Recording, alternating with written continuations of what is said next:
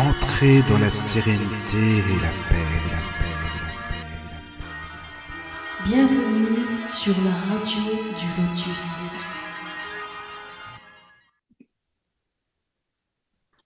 Bonsoir à tous, nous sommes sur la radio du Lotus en direct en ce mardi 5 septembre, il est 21h et nous nous retrouvons après ces deux mois de vacances.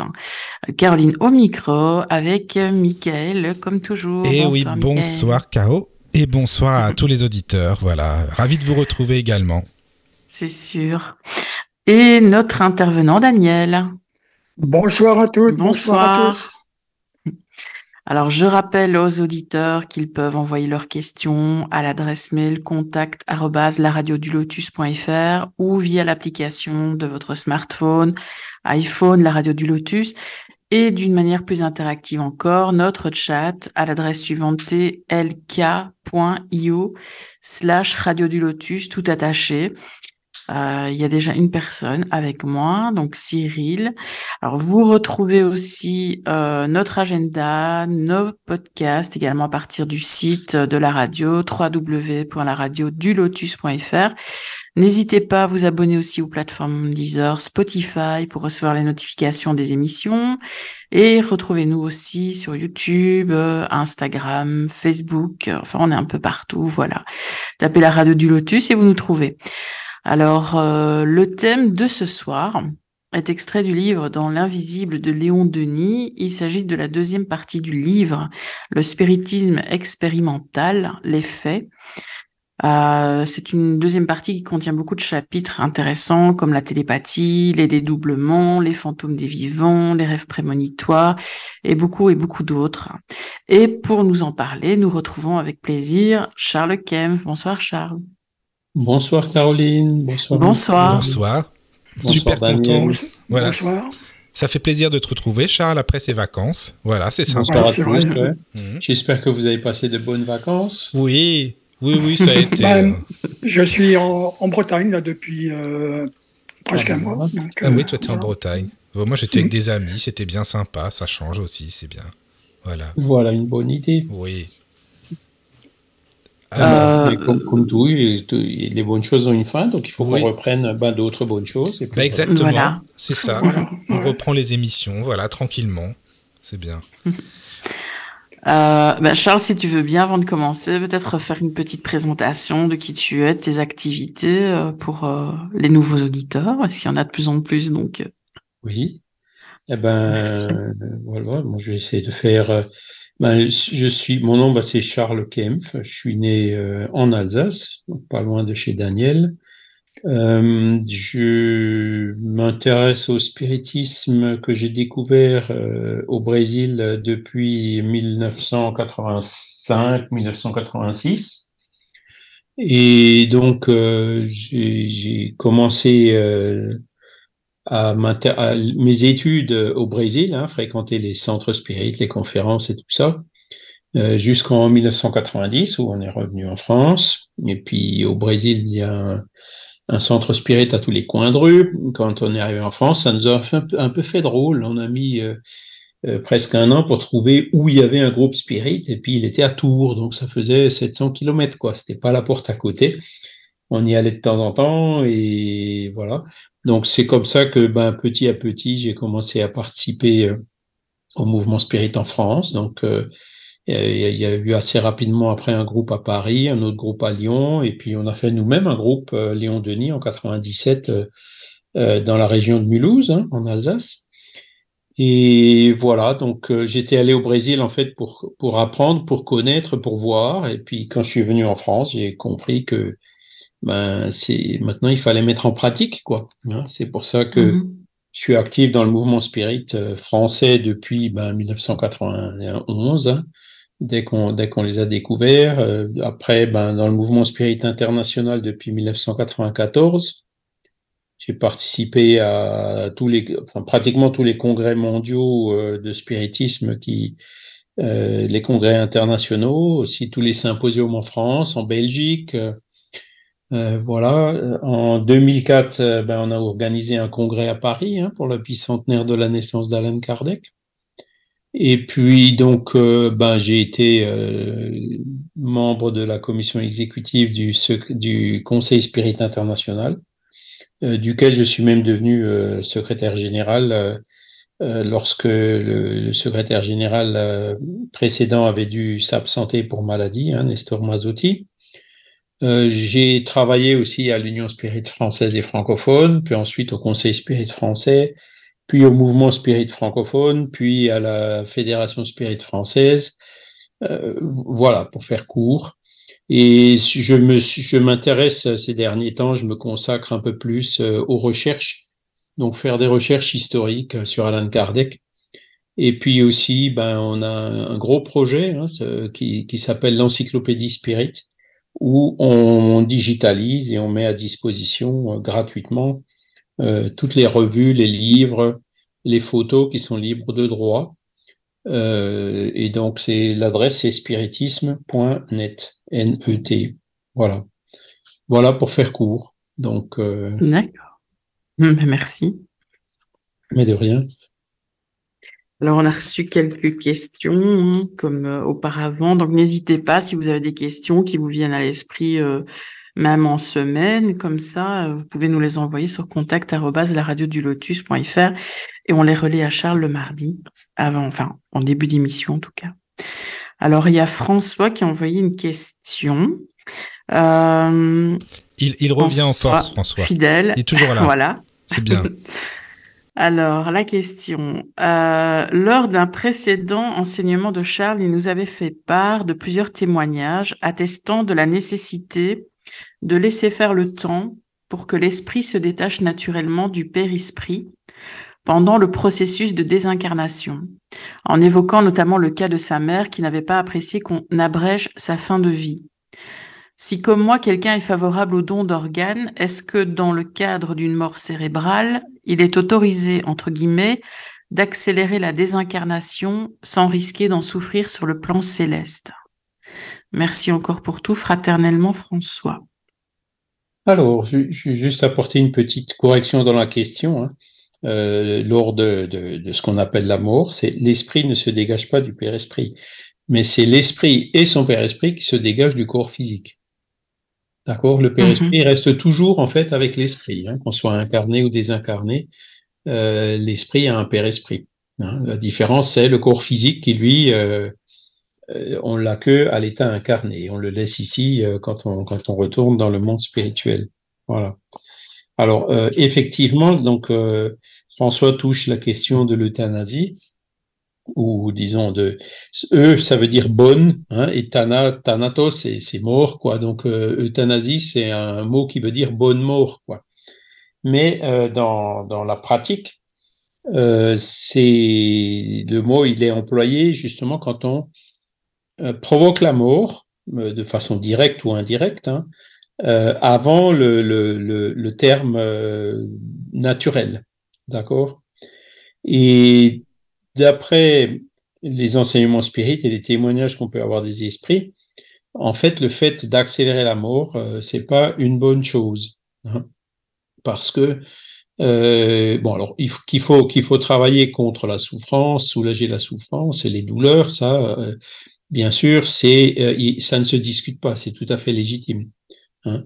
Mais de là à, je dirais, euh, injecter des, de la morphine et puis des sédatifs à haute dose, hein, c'est ce qui se fait euh, actuellement.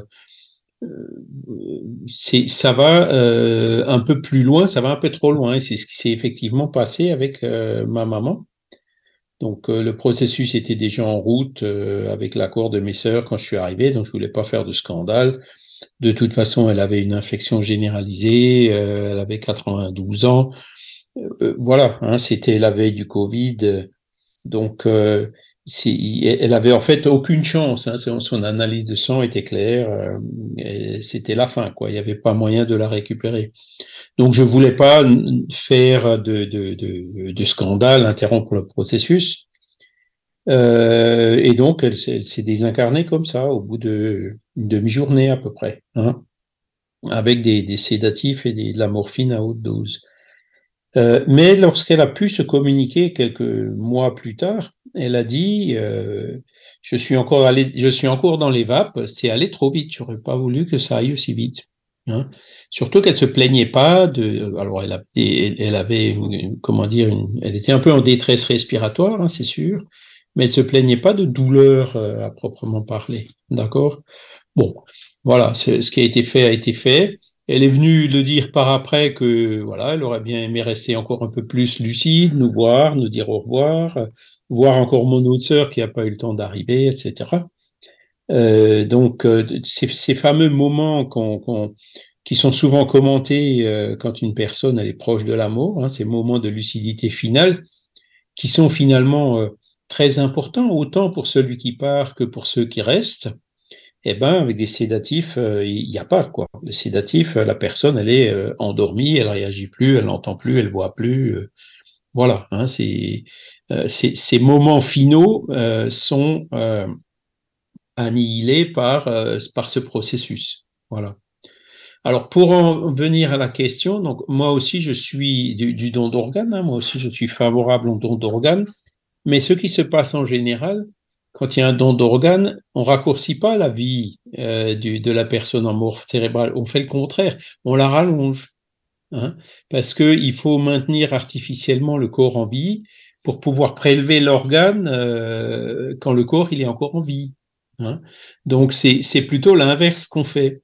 Alors on soit euh, là, bon, il y a des, comment dire, c'est des, c'est des raisons qui sont, qui sont tout à fait compréhensibles hein, pour pouvoir prélever l'organe, euh, de devoir euh, maintenir le corps euh, artificiellement en vie ben, le temps nécessaire. Hein, ça peut être de quelques minutes, quelques heures, voilà. Hein.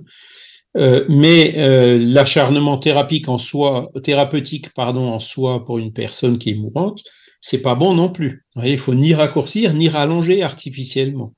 L'idéal, c'est de laisser la mort arriver à son terme et puis donc par euh, le, biais de soins palliatifs, faire tout ce qu'il faut pour rendre euh, ben, la vie jusqu'à cet instant de la mort naturelle euh, la plus digne, le plus agréable possible pour, pour tout le monde, hein, à la fois pour le mourant que pour les personnes de la famille. Hein. Ça, c'est le cas idéal. Voilà.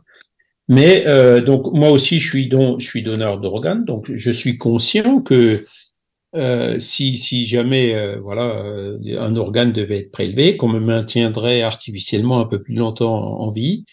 Mais comme je le fais par charité, par amour, hein, pour pouvoir aider quelqu'un, hein, je le fais de façon consciente. Hein. Et donc, même si ça pourrait éventuellement me causer quelques désagréments, je pense que ces désagréments seraient très rapidement euh, compensé euh, par l'acte d'amour qui est commis et puis par le fait que euh, une personne peut retrouver des conditions de vie bien meilleures grâce à l'organe que j'ai pu donner et, dont je, dont je n'ai plus besoin. voyez? Donc voilà, c'est c'est c'est important quand même de souligner cet aspect-là parce qu'il y a beaucoup de il y a d'ailleurs des spirites hein, qui qui, qui, qui, sont réticents pour faire un don d'organes, justement euh, pour cette raison dont on vient d'expliquer, hein, le fait de maintenir artificiellement en vie et de prélever l'organe pendant qu'on est encore vivant. Hein. Mais bon, à partir du moment où c'est un acte de charité, euh, voilà, les guides spirituels sont là, la satisfaction derrière d'avoir fait quelque chose de bien, on se sacrifie aussi, même vivant, quand on aide quelqu'un, ben on passe du temps pour aider quelqu'un. Euh, il y a des gens même qui donnent un organe de leur vivant, hein, qui donnent un rein à leurs enfants ou, à un proche. Euh, voilà, c'est ben, là aussi l'organe il est prélevé avec la personne vivante, alors que euh, quand on est en mort cérébrale, quand on est mourant, euh, c'est quand même beaucoup moins contraignant que de donner un organe quand on est encore vivant. Voilà. Donc, moi je dis, il n'y a pas de crainte à avoir. Si c'est un choix conscient fait par amour, euh, ce sera euh, compensé au centuple. Voilà. Ah, merci. Merci pour François. Alors, il y avait une question sur le chat de Cyril qui demande que deviennent les meurtriers après la mort. Alors, les meurtriers après la mort, ben, euh, il y a plusieurs exemples qui sont donnés hein, dans, dans, le livre Le ciel et l'enfer d'Alan Kardec. Hein, la deuxième partie, c'est des exemples. Et euh, donc, euh, dans, la série, ben, il y a euh, des esprits de meurtriers.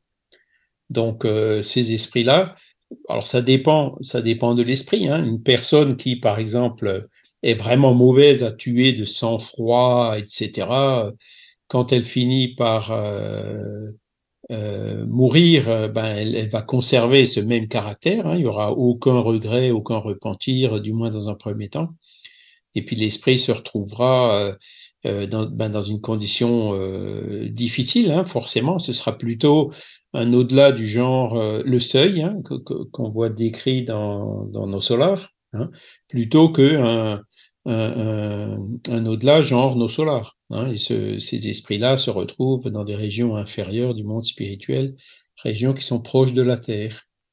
Voilà.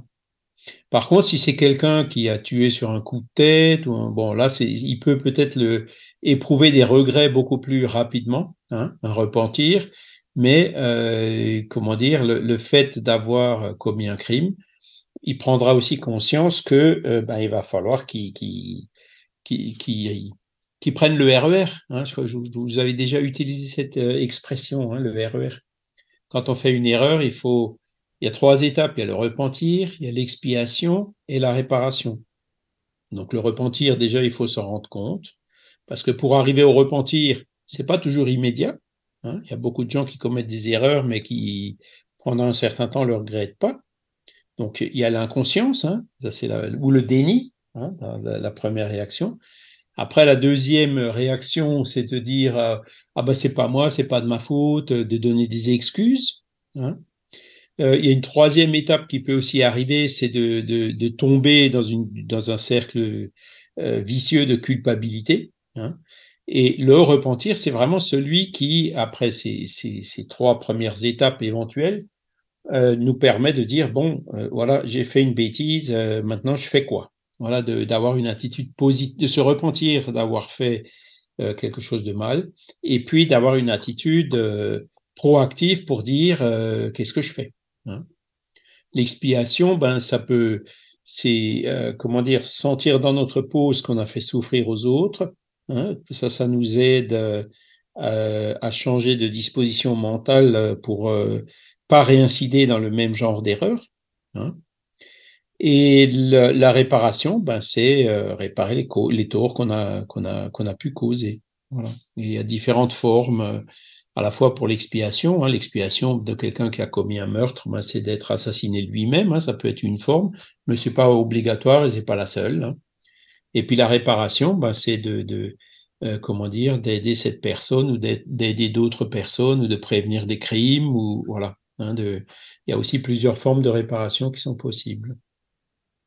Et donc euh, voilà pour euh, pour ce qui est des Merci. Je vous conseille Merci. de lire le ciel et l'enfer, deuxième partie, il y a des exemples. D'accord, bah, merci pour Cyril. Euh, il y avait une question de euh, via mail. Euh, si l'on place un médium dans une pièce avec plusieurs personnes qui ne croient pas en cette médiumnité, est-ce que le médium a la possibilité d'avoir une bonne communication avec un défunt ou les formes pensées des personnes auront une grande influence sur la bonne ou mauvaise communication? Alors oui, c'est là, pareil, je vous conseille de regarder dans le livre des médiums, hein, il y a un chapitre qui s'appelle l'influence du milieu.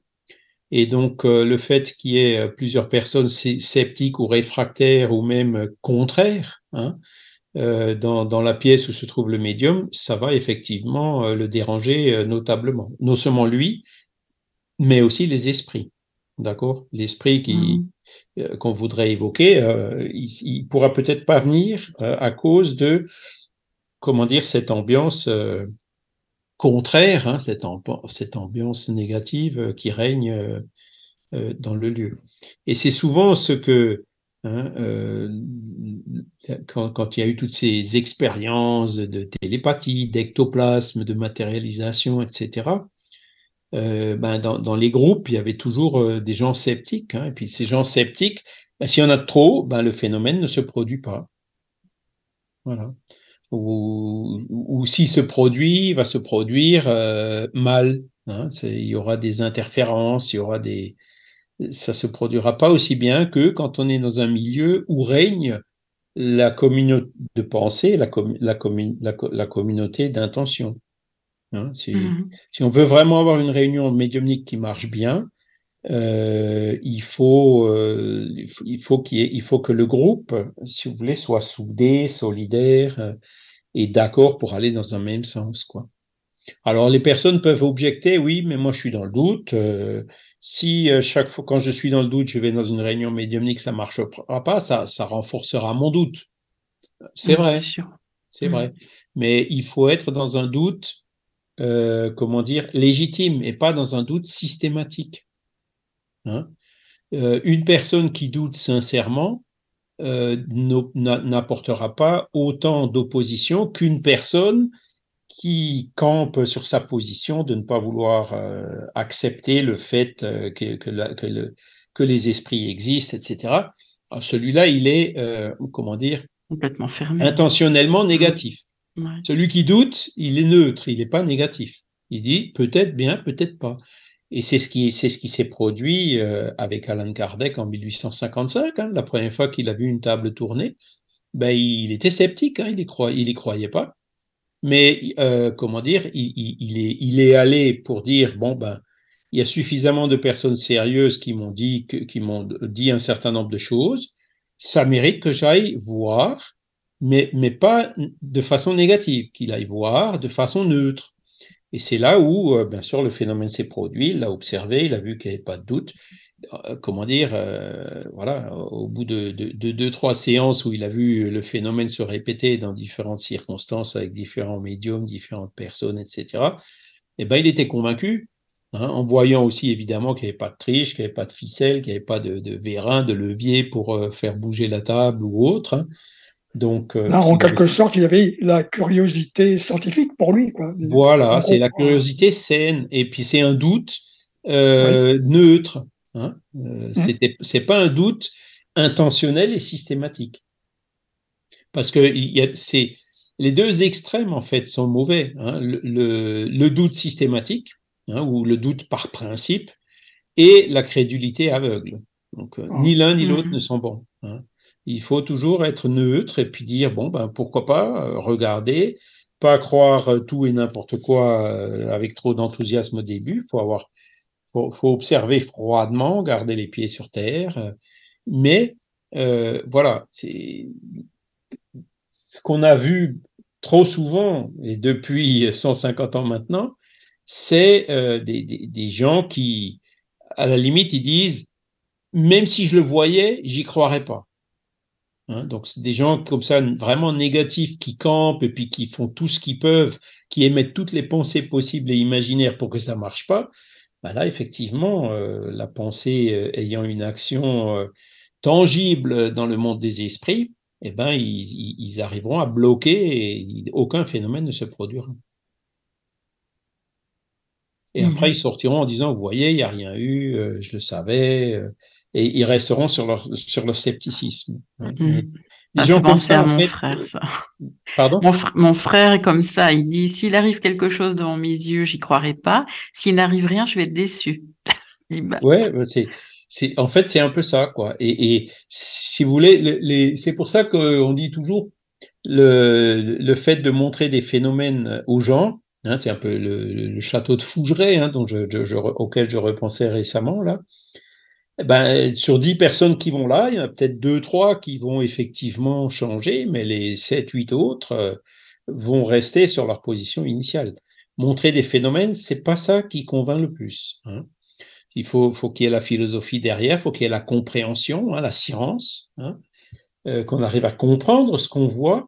Et euh, moi-même, ben, c'est vrai que j'ai été mis en, j'ai vu un phénomène, euh, c'est ce qui nous a fait aller dans un centre spirit pour chercher de l'aide. Hein.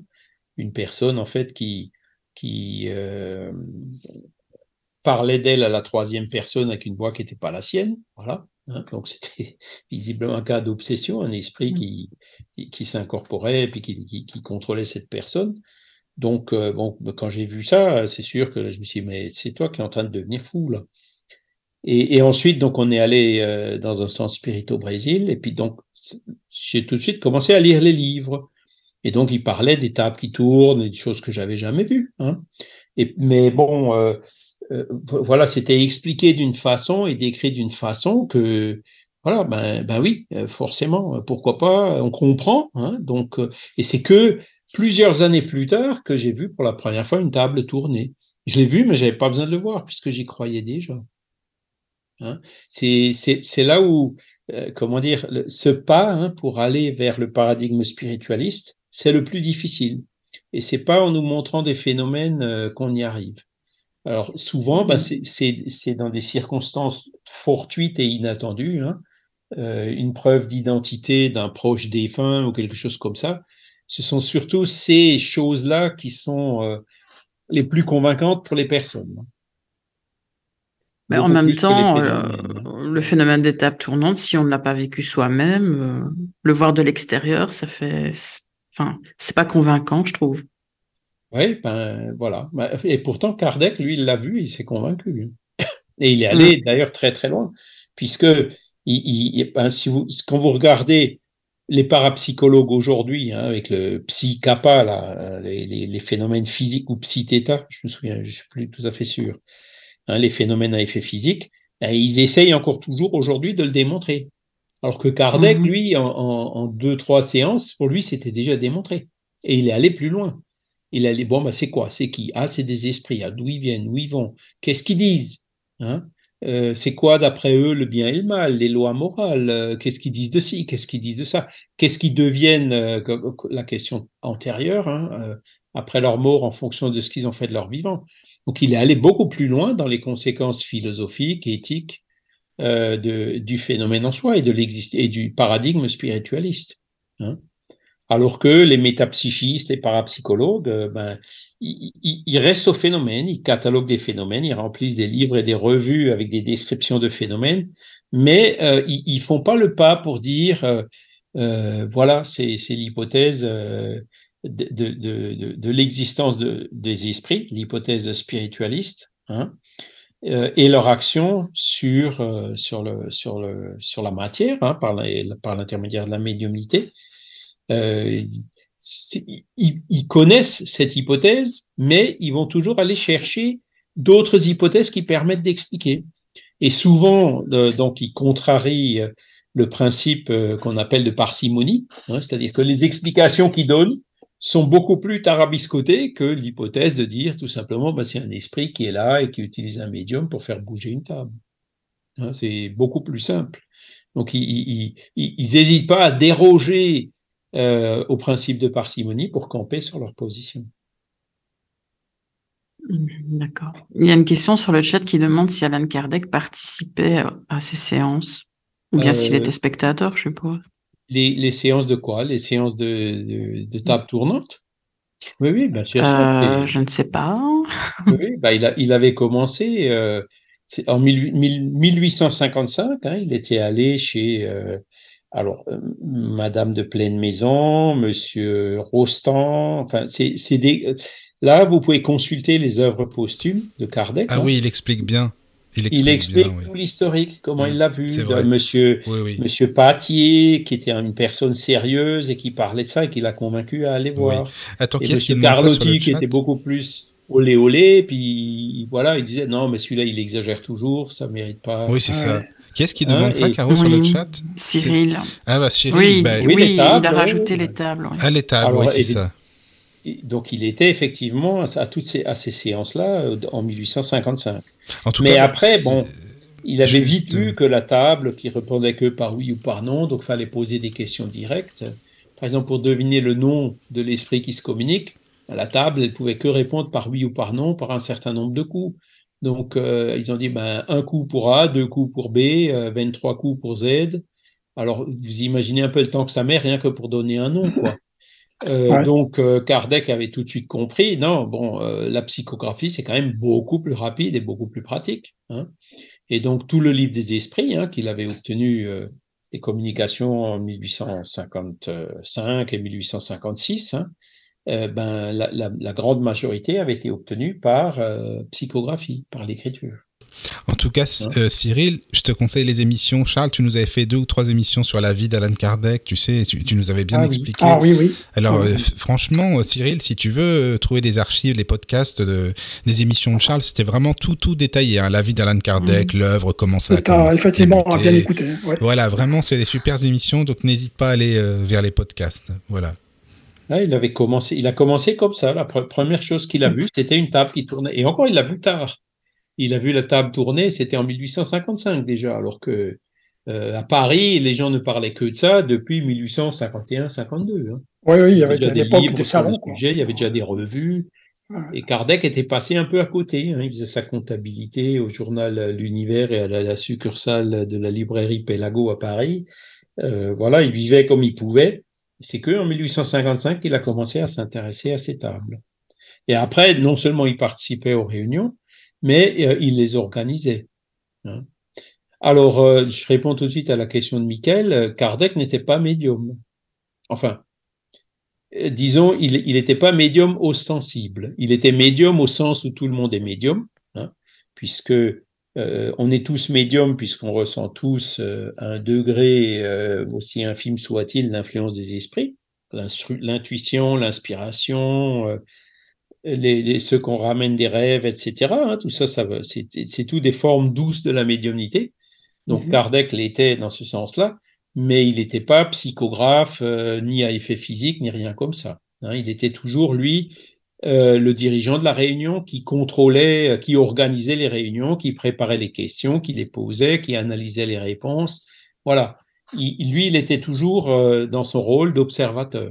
Hein. il n'était jamais passif euh, dans une situation de médiumnité. Voilà. D'accord. Ben, Merci pour les réponses. Merci. Je sais pas s'il y a d'autres questions, si on va euh, vers le thème. hein, parce que, euh, pour l'instant, non. Bon, On bah alors c'est bien. Enfin, c'est Voilà. bien. c'est bien et pas bien en même temps, oui. Voilà. C'est- Alors, on va aller vers le thème. Merci hein, encore une fois pour vos questions. C'est vraiment bien. Puis en plus, c'est toujours des questions euh, pertinentes, je trouve. hein. Enfin, c'est bien. Il y a plein de choses à dire. Voilà. Donc, euh, voilà. Charles, qu'est-ce que tu en penses? On peut aller vers le thème, Lé- Léon Denis Ben oui, on va démarrer avec Léon Denis. Donc Voilà. En plus, je sais on- que c'est ton... le. l'un de tes auteurs préférés, Spirit, Charles. C'est ça, hein, Léon Denis Oui, oui, oui, oui. Ben c'est. euh, je dirais, il avait une parfaite compréhension de, de, de ce que Kardec avait apporté. Et donc, il a quand même écrit et révisé ses livres 50 ans plus tard. Donc, c'est un langage un peu plus jeune et qui intègre aussi euh, une quantité impressionnante d'observations qui ont été faites et d'expériences qui ont été faites euh, après Kardec. hein. Donc euh, voilà, il est, il a, il a pris la base et il l'a enrichi donc avec euh, euh, toutes les observations qui ont eu lieu entre temps. Voilà. Euh, donc, euh, on avait dit, donc c'est le, spiritisme expérimental les faits. hein, donc c'est le livre, il s'appelle Dans l'invisible, hein, traité de spiritisme expérimental. Donc c'est, si vous voulez, c'est l'équivalent du livre des médiums, mais fait par Léon Denis. D'accord? Ça Mhm. remplace pas le livre des médiums, hein, qui reste quand même encore la base, mais euh, ça le complète de façon euh, importante et, et utile. Voilà. D'ailleurs, c'est le premier bouquin de Léon Denis que, que j'ai pu lire, enfin pas entièrement, hein. j'avais lu le- beaucoup de chapitres, mais je l'avais pas lu entièrement, mais c'est ce qui m'a tout de suite intéressé, hein, avec toute la description des faits que l'on va parler, etc. Donc voilà, c'est bien. Voilà, son premier livre, c'était euh, Le pourquoi de la vie, hein, en 1885. Et en 1889, il a fait euh, Après la mort. hein. c'est son deuxième livre. euh, C'est un peu aussi son best-seller, quoi. Alors, le livre Après la mort parle un peu de tous les sujets. Et ensuite, il approfondit les différents sujets dans les autres livres. hein. Donc, par exemple, ben, la, question de la médiumnité, elle est approfondie dans euh, ce livre qu'on voit aujourd'hui qui s'appelle Dans l'invisible. D'accord? Euh, Et donc, euh, c'est dans, ce, dans cette deuxième partie qu'il décrit les faits, hein, c'est-à-dire toute cette base phénoménologique. Alors, il cite de temps en temps des, des, phénomènes de Kardec, mais je dirais 99, plus de, plus de 9 fois sur 10, euh, c'est des phénomènes qui ont, ou des expériences qui ont été réalisées euh, après, hein, euh, après Kardec et même jusqu'au début du XXe siècle, puisque la dernière révision de ce livre il l'a écrite dans les années 1920 déjà. Hein. Voilà. Et donc ce chapitre 12, qui est le premier de cette deuxième partie et qu'on va commencer à regarder ce soir, euh, son titre, donc c'est euh, l'extériorisation de l'être humain. Alors extériorisation, qu'est-ce que ça veut dire? Ben euh, ça veut dire que dans certaines circonstances, notre âme, elle arrive à s'émanciper par rapport au corps physique. D'accord? Elle arrive à s'extérioriser. D'accord? Et c'est, ça fait partie des phénomènes, si vous voulez, qui, qui, qui vont dans le sens de prouver qu'on a une âme et qu'elle est indépendante du corps. D'accord Alors, une chose dont Léon Denis n'a pas parlé, mais qu'on peut citer ici, c'est, qui est très connu, très en vogue ces derniers temps, qui est un exemple parfait d'extériorisation euh, de l'être humain, ce sont les phénomènes d'expérience de mort imminente. Hein? Donc euh, le corps ne fonctionne plus, euh, on est en arrêt cardiaque, le cerveau n'est plus oxygéné, etc. Et puis ben, pendant ces quelques secondes, voire minutes de, de, de comment dire, de, de mort imminente, l'âme, hein, enfin les personnes, les expérienceurs se souviennent euh, d'une quantité incroyable et énorme de choses qui se sont produites pendant ce très court laps de temps. Hein. C'est toute la, la, comment dire, la, beauté hein, de ces phénomènes d'expérience de, de, mort imminente. Euh, il y a un certain nombre de choses que l'âme euh, perçoit la, grande majorité, évidemment, ce sont des choses subjectives. Hein. Je suis passé par un tunnel, j'ai vu un être de lumière, j'ai vu mon grand-père, ma grand-mère, euh, il s'est passé telle ou telle chose. Donc ça, les, les, c'est subjectif. Hein. La personne vient, le dit, mais c'est son témoignage euh, sur la base de sa bonne foi et de, de sa bonne mémoire. Hein. Mais euh, il n'y a pas moyen de le vérifier. D'accord? C'est sûr, c'est sûr. Après, euh, il y a aussi euh, des éléments objectifs de temps en temps, hein, et qui sont qui sont euh, qu'on retrouve dans, dans, tous les ouvrages sur sur les EMI, quand l'expérienceur arrive à décrire, à, à dire ce qui ce que le médecin et les infirmiers ou le personnel soignant les échanges qu'ils ont eus, ce qui se sont dit pendant que, le, que, que, la personne était en mort imminente. Et donc, avec les organes d'essence, le cerveau qui ne fonctionnait plus, hein, on le rappelle. Donc, les numéros de table d'opération, des choses comme ça. Quoi. Des, euh, des choses qui sont écrites sous la table, ou alors euh, un dentier qui avait été perdu. Ah ben c'est vous, euh, vous avez pris mon dentier, vous l'avez mis dans le tiroir d'une armoire qui est au coin de la salle d'op hein, ou de la salle de réanimation. Et effectivement, qui sont allés voir, ils ont bien retrouvé son dentier. Ou alors même des, des, des certains expérienceurs qui peuvent dire ce qui s'est passé dans les pièces à côté. Dans les pièces à côté, voilà, Hein. et, des choses que, euh, qui ont pu être vérifiées et que la personne ignorait totalement euh, avant son expérience de mort imminente. D'accord? Donc, il y a une part il y a une grosse part de subjectif, il y a une petite part d'objectif, et il y a aussi quelque chose euh, qu'a étudié beaucoup le, le, Pim van Lommel, hein, le néerlandais, c'est une personne après une expérience de mort imminente, hein, psychologiquement, elle est complètement transformée par rapport à ce qu'elle était avant euh, la mort, l'expérience de mort imminente. D'accord? Et ça aussi, c'est quelque chose qui est objectif, qui peut euh, peut-être pas se mesurer, mais qui peut s'évaluer hein, par une analyse psychologique de la personne. Des personnes qui n'ont plus peur de la mort, des personnes qui sont beaucoup plus sereines, euh, beaucoup plus calmes, beaucoup plus fortes, qui changent complètement de mode de vie, etc c'est très fréquent euh, chez les personnes qui. Euh, oui, c'est vrai. Les expérienceuses de mort imminente. Voilà. Donc là, on est dans, dans, dans, dans l'exemple, entre guillemets, d'aujourd'hui, hein, hein, de euh, ces, ces, phénomènes d'extériorisation de l'être humain. D'accord? Après, euh, le chapitre, il, va, il parle aussi de télépathie. Donc télépathie, qu'est-ce que c'est? Télépathie, c'est transmission de pensée à distance des personnes qui arrivent à se communiquer à d'autres personnes par la transmission de pensée. Bien sûr, sans Zoom, sans téléphone. Sans, oui, c'est ce que j'allais te dire. Sans, téléphone, sans Internet, ni quoi, forcément, oui. Ça, oui. Voilà. Alors, comment ça se passe C'est sûr que. Je trouve même que c'est dommage parce que la facilité de communication qu'on a on, verra peut-être, on, lira un ou deux des, témoignages de télépathie.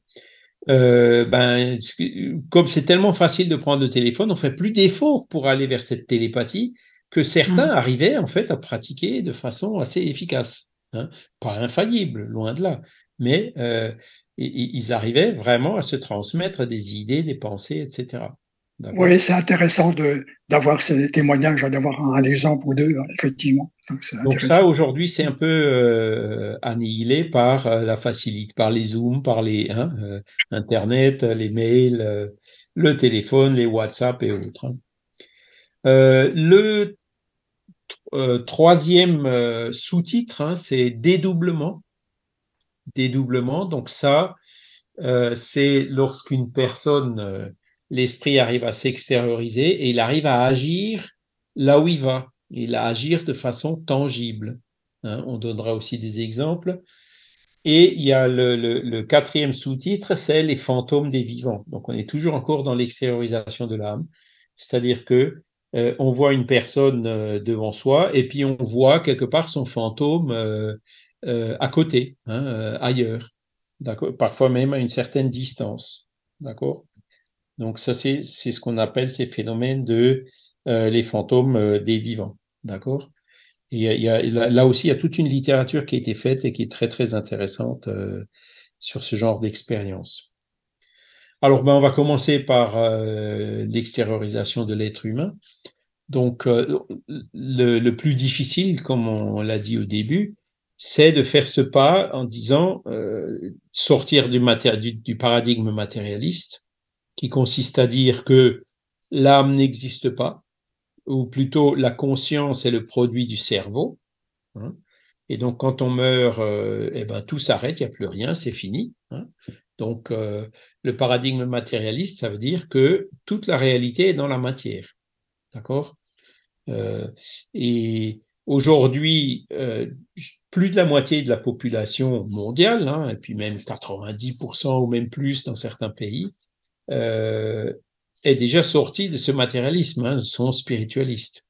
Et le spiritualiste, donc, c'est l'inverse, c'est-à-dire c'est de dire on a un corps matériel, mais on a aussi une âme, et un certain nombre de choses, comme la volonté, l'intelligence, la bonté, etc., qui sont des attributs de l'âme. Et le corps, en fait, n'est que un, le cerveau n'est qu'un transmetteur euh, de euh, un outil hein, que l'âme utilise pour euh, transmettre euh, les pensées, les actes euh, dans la vie matérielle. D'accord?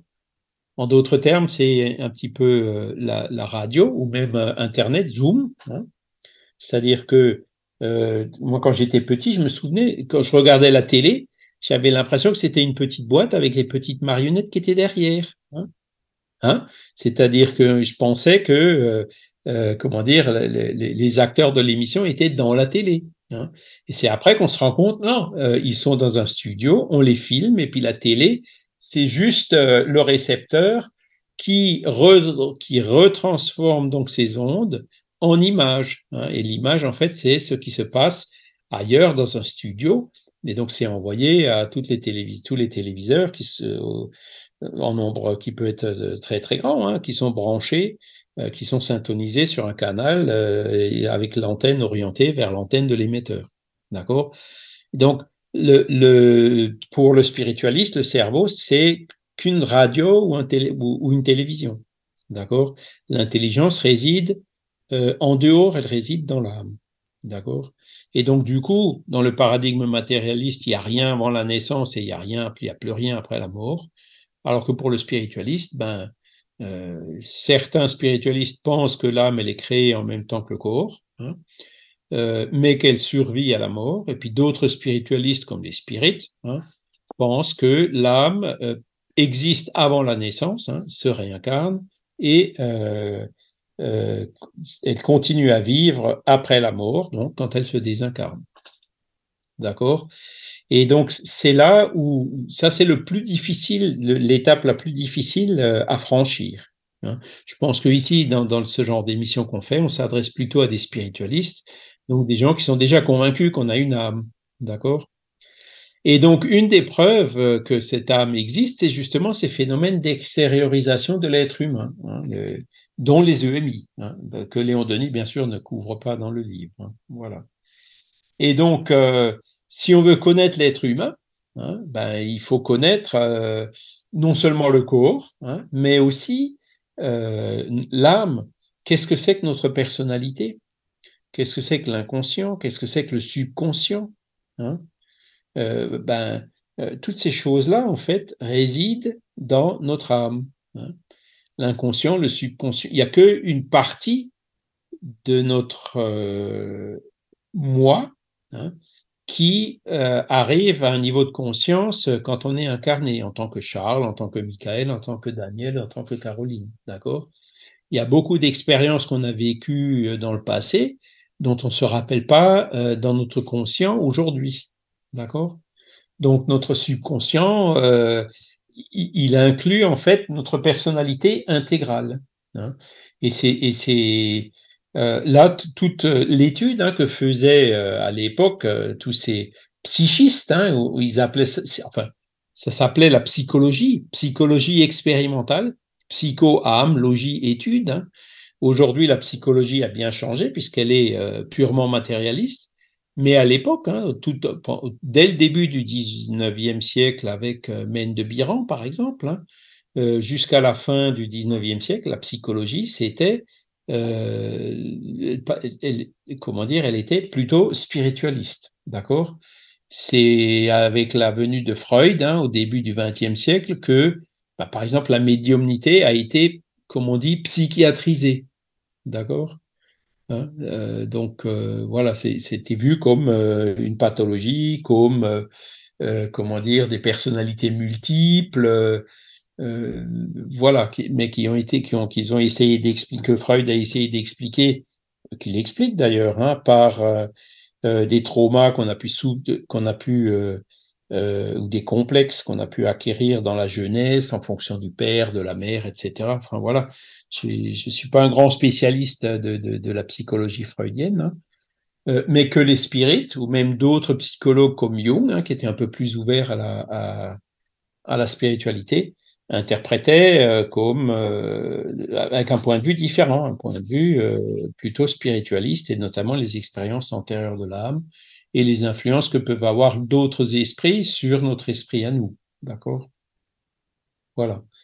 Et donc, c'est Léon Denis parle là du mystère de psyché, hein, l'âme enfermée dans un corps, hein, bon, qu'on peut essayer d'étudier, mais, pour l'étudier, ben, euh, euh, déjà, il y a un phénomène naturel, hein, c'est quand on dort le soir, c'est le, phénomène d'extériorisation que tous les jours, euh, on, on, passe par ça, on en fait l'expérience. Hein. Pendant le sommeil, notre âme, temporairement, euh, se libère du corps. D'accord? Notre âme s'extériorise. Quand on se réveille, hein, on en a aussi déjà parlé, ben, parfois on se rappelle, donc c'est ce qu'on appelle les rêves. Hein. Alors il y a des rêves qui sont complètement oniriques, il y a d'autres rêves qui sont euh, très précis. Hein. On se rappelle de choses et de détails euh, euh qui nous paraissent très réels. Hein. voilà, ben, ça fait partie de ces épisodes que, que, notre âme a vécu pendant le sommeil et on en rapporte des fragments à notre conscient lorsqu'on se réveille. Oui, il y a une question sur le chat, je ne sais pas si tu as vu, c'est Michael. C'est une... Merci Michael pour ta question, parce que moi, je, voilà, je, je me posais la même question, justement. vas-y, vas-y, Caro. Donc, euh, Michael demande, est-ce qu'on peut parler d'âme ou de corps astral, ou est-ce que vous parlez d'âme de manière générique? Parce que moi, je pensais plutôt au corps astral. Enfin, vas-y, Charles, excuse-moi, parce que ça m'y fait penser aussi. Alors, le, corps astral, ou, je dirais le corps spirituel, c'est le Père Esprit, d'accord? Donc, on, a en nous, en, l'être humain, il y a trois choses. Hein. Il y a le corps physique, qui est ce qu'on connaît. Hein. Ensuite, il y a l'âme ou l'esprit, hein, qui est euh, où réside l'intelligence, la mémoire, etc. Et pour que l'esprit puisse agir sur le corps physique, il y a un intermédiaire qu'on appelle le corps spirituel. Donc je pense que c'est ça que Michael appelle le corps astral, qui lui est matériel, mais d'une matière euh, qui qu'on peut pas peser, qu'on peut pas mesurer à l'état normal. Donc c'est pour ça qu'on dit semi-matériel, hein, une, forme de matière euh, moins dense que euh, notre matière physique, et donc qui sert d'intermédiaire à, l'esprit et euh, le corps. Alors, l'âme, pourquoi je dis esprit? Parfois je dis esprit, parfois je dis âme. Parce qu'en fait, euh, d'après la terminologie spirit, l'âme et l'esprit, c'est pratiquement la même chose, mais dans le langage courant, on utilise plutôt le mot âme pour un esprit quand il est incarné. D'accord? Euh, Par exemple, on dit euh, c'est un esprit qui s'est communiqué par l'intermédiaire de tel médium. Hein. Là, on utilise le mot esprit. Hein. Euh, on utilise le mot âme plutôt que ben, pour dire, par exemple, Dieu est son âme quand notre âme se libère. Hein, de voilà, on utilise le mot âme. Par exemple, en France, il y a 65 millions d'âmes. ça veut dire 65 millions d'individualités ou d'esprits qui sont incarnés. D'accord? Donc, euh, l'âme, c'est plutôt l'esprit, hein, et le corps astral, c'est plutôt euh, ce qu'on ce appelle le père-esprit ou le corps spirituel. D'accord? Voilà, donc euh, effectivement, je parlais plutôt d'âme de manière générique. Quand on dit le paradigme matérialiste, ça veut dire il n'y a que la matière, il n'y a que le corps physique, il n'y a rien d'autre qui existe. D'accord? Et quand on parle du paradigme spiritualiste, ça veut dire que il y a le corps quand on est incarné, mais en plus du corps, il y a aussi euh, donc l'esprit hein, ou l'âme quand on est incarné, hein, euh, où réside l'intelligence, la mémoire, euh, réside la volonté, etc. Hein, bah, c'est bien de, préciser parce que c'est vrai, il y a souvent des confusions. donc c'est une bonne question là de Michael, effectivement. voilà. Et donc, ben, pendant notre sommeil, notre âme, puisque on est un esprit incarné, se libère temporairement de notre corps physique et va se promener euh, selon ses affinités euh, dans le monde spirituel, voire même dans le monde matériel. Alors, il y a une chose qui est intéressante, par exemple, on dort, on se couche dans le lit, euh, donc on ferme tout à clé, on ferme les fenêtres et tout, euh, mais notre âme, elle se libère, elle arrive à sortir. Hein. L'âme arrive à traverser les murs, la matière, les portes, euh, ne font pas d'obstacle pour euh, l'esprit avec son Père-Esprit. On est bien d'accord. Hein. Et donc, l'âme peut se transporter à des très grandes distances, hein, quasi instantanément. Par exemple, notre âme, si elle le souhaite, elle peut aller sur Jupiter, voire même dans une autre constellation, euh, quasi instantanément. Hein, alors que on sait que tout ce qui est matériel, euh, là on l'a vu encore euh, récemment, on envoie des fusées vers la Lune. Récemment aussi, il y avait la fameuse sonde voyageur là qu'ils avaient failli perdre. La sonde voyageur, elle a quoi? Ça fait déjà 40 ans, je crois, hein, qu'elle voyage. oui, plusieurs décennies en tout cas, oui. Elle est à peine sortie, elle a à peine dépassé Pluton, quoi. Hein. Ouais, ouais. Alors que l'âme, elle va à Pluton euh, en, une seconde. D'accord? Donc, elle n'est pas dans le même euh, espace-temps que nous. Hein. Euh, elle n'est pas dans, dans l'espace quadridimensionnel qui est une caractéristique du monde physique. D'accord? Et c'est pour ça que, par exemple, les rêves, on s'en rappelle pas tout de suite. Et même quand on s'en rappelle, si on le note pas, ben, souvent au bout de 5 ou 10 minutes, on se rappelle plus. Hein, c'est euh, dire un, souvenir qui est assez fugace parce que c'est justement la difficulté qu'a notre âme pour ramener euh, le souvenir de ce qu'elle a vécu pendant le sommeil euh, dans notre mémoire. Euh, il faut que ça impressionne suffisamment longtemps notre notre notre corps physique, notre cerveau, pour que ça reste ensuite en tant que mémoire dans notre conscient, en tant que mémoire consciente. D'accord? Voilà, c'est ça qui explique pourquoi euh, ben, on ne se rappelle pas toujours des rêves ou quand on s'en rappelle, euh, très vite on les oublie. Mais il parle de, sommeil magnétique, qui veut dire quoi par là? Oui, ça, j'ai remarqué. Tiens, tu as eu la même euh, idée que moi. Alors, on parlait du sommeil. Alors, le début, c'est le sommeil naturel. Hein. Donc, le sommeil naturel, c'est tous les soirs, on s'endort et puis notre âme se promène. Par contre, euh, dans le, comment dire, le magnétisme. Hein. Un magnétiseur, il arrive à endormir son patient, d'accord? Il lui fait une imposition des mains, hein, et euh, donc euh, par son fluide magnétique, il arrive à faire de sorte que la personne s'endort. Donc elle s'endort pas par un sommeil naturel. C'est pour ça qu'on dit qu'elle s'est endormie elle a été endormie dans un sommeil magnétique. Ok. Ça peut, ça peut fonctionner par le magnétisme, ça peut aussi fonctionner par l'hypnose. Hein. Ah, par l'hypnose. L'hypnotiseur arrive aussi à endormir une personne. C'est vrai. Et c'est là où Léon Denis dit ben, il, y a, il y a un peu une différence entre les deux, hein.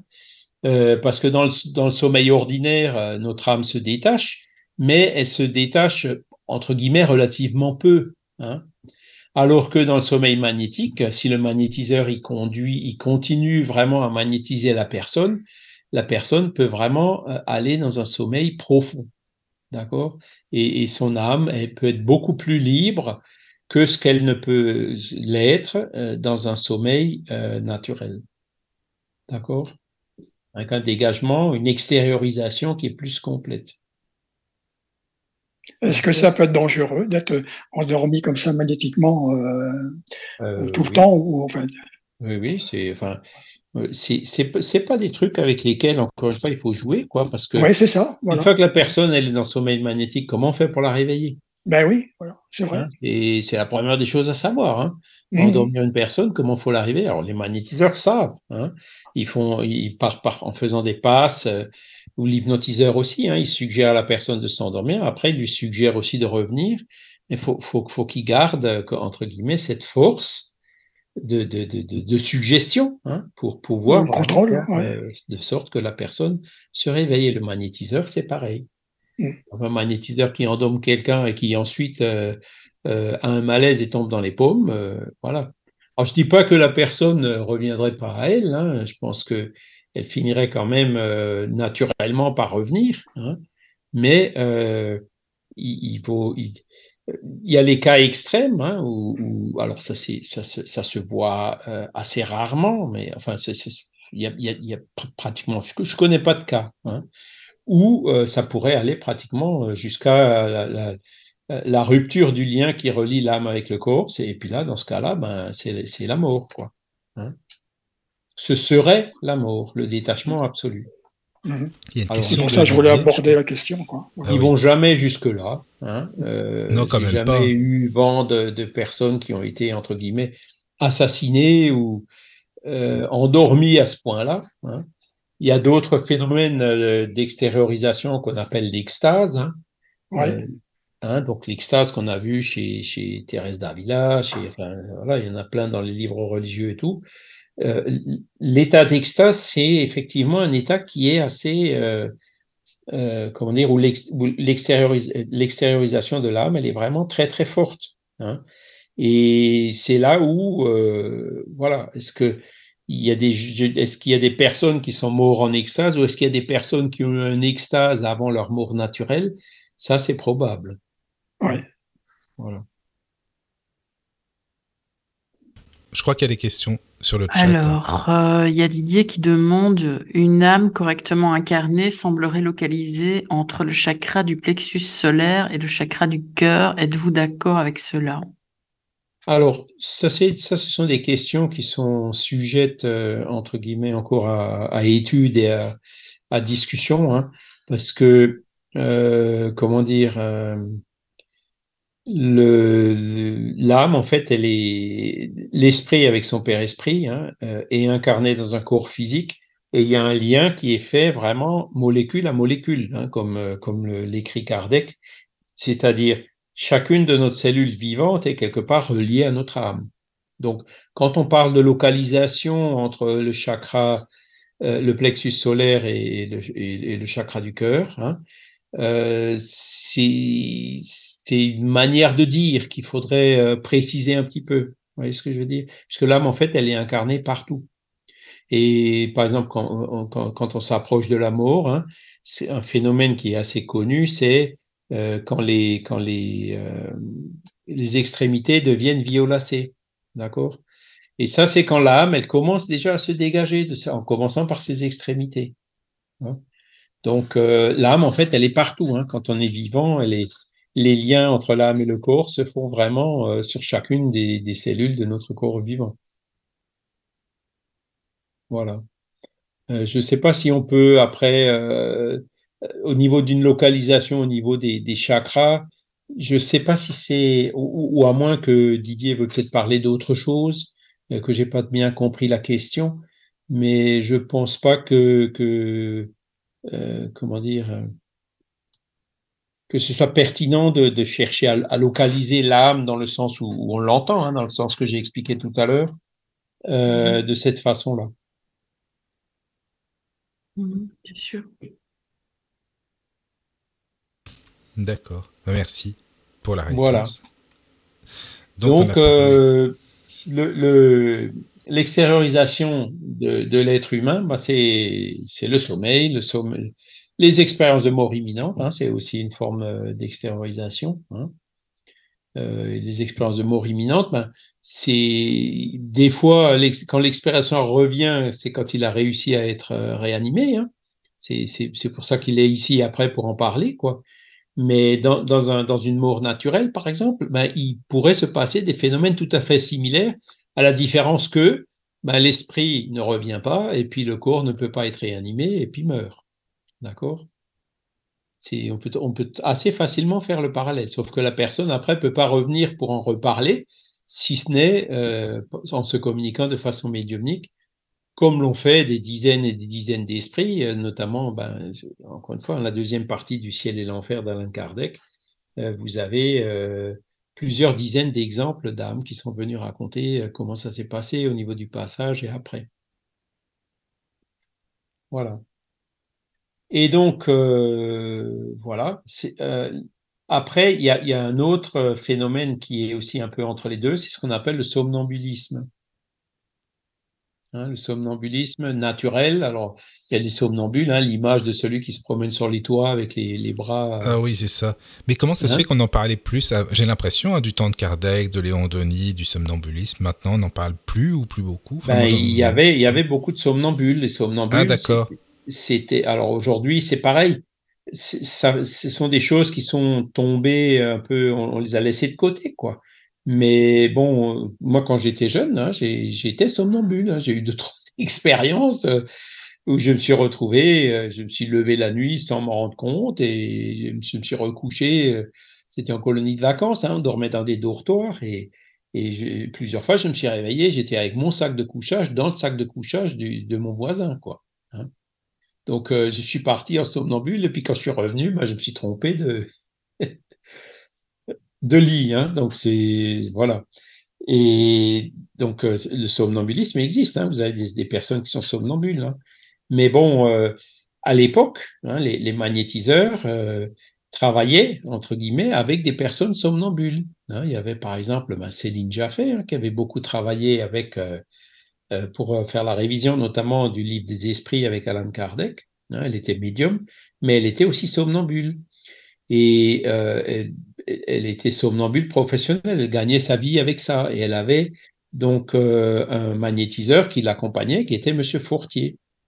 Et donc c'est lui qui, euh, par les passes magnétiques, hein, comme on le disait tout à l'heure, euh, la faisait tomber dans un sommeil magnétique, mais c'était un état somnambulique.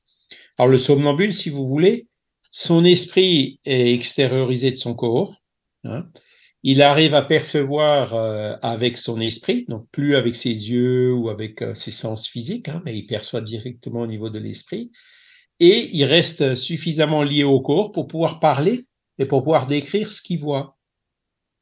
D'accord? Il est endormi, mais il parle, le somnambule. D'accord?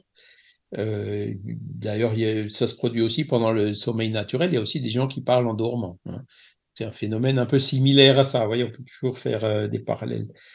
Et donc, euh, ben, dans les somnambules qui sont connus, hein, vous avez euh, des gens comme Edgar Cayce, hein, qui a été ah. très commenté à la deuxième moitié du XXe siècle.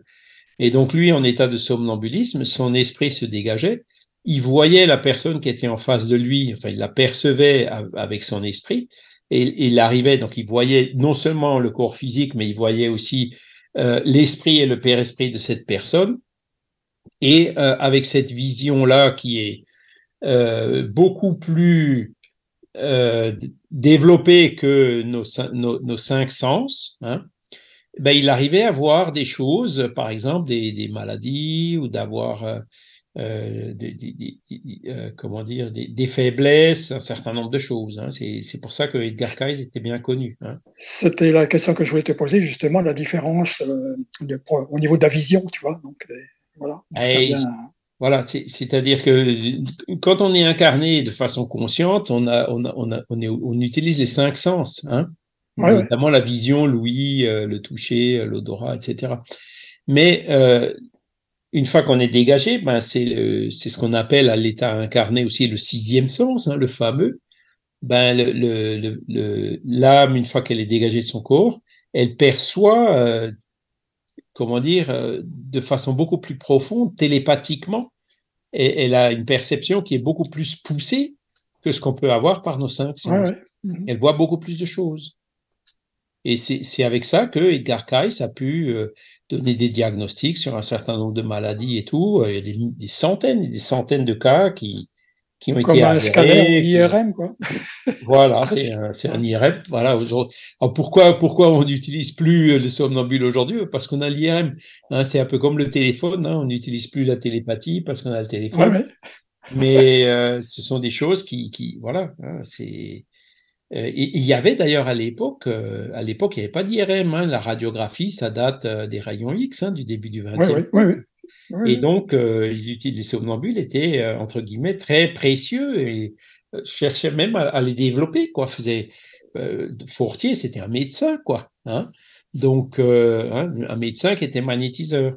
Et donc, voilà, c'était c'était des pratiques qui aujourd'hui se sont perdues enfin se sont, se sont considérablement réduites, mais euh, qui, qui, qui, qui n'en sont pas moins euh, réelles. D'accord? Euh, Vous avez Edgar Cayce, vous avez Bruno Gröning. Hein, Bruno Gröning, lui en plus, il guérissait, quoi. C'est-à-dire que Edgar Cayce, d'ailleurs, je crois aussi. Hein. Donc, il était somnambule et en même temps guérisseur. Hein. Donc, il pouvait agir en plus. Il agissait, voilà, magnétiquement. Et puis, alors, le somnambule, euh, quand son esprit est dégagé, donc il voit la personne qui est devant lui, son esprit, son père-esprit, mais le somnambule peut aussi voir d'autres esprits désincarnés. Ouais. D'accord? Donc le somnambulisme, quand, quand il n'y a pas d'autres esprits qui sont impliqués, ben, c'est le somnambulisme, c'est l'esprit du somnambule qui voit. Par contre, le somnambulisme est souvent associé à la médiumnité. Quand il y a d'autres esprits qui viennent, et d'ailleurs, euh, alors je ne sais pas si c'est Edgar Cayce ou un autre somnambule connu qui disait euh, il y a euh, un esprit qui est là pour m'aider et qui, qui, qui m'aide à faire les diagnostics.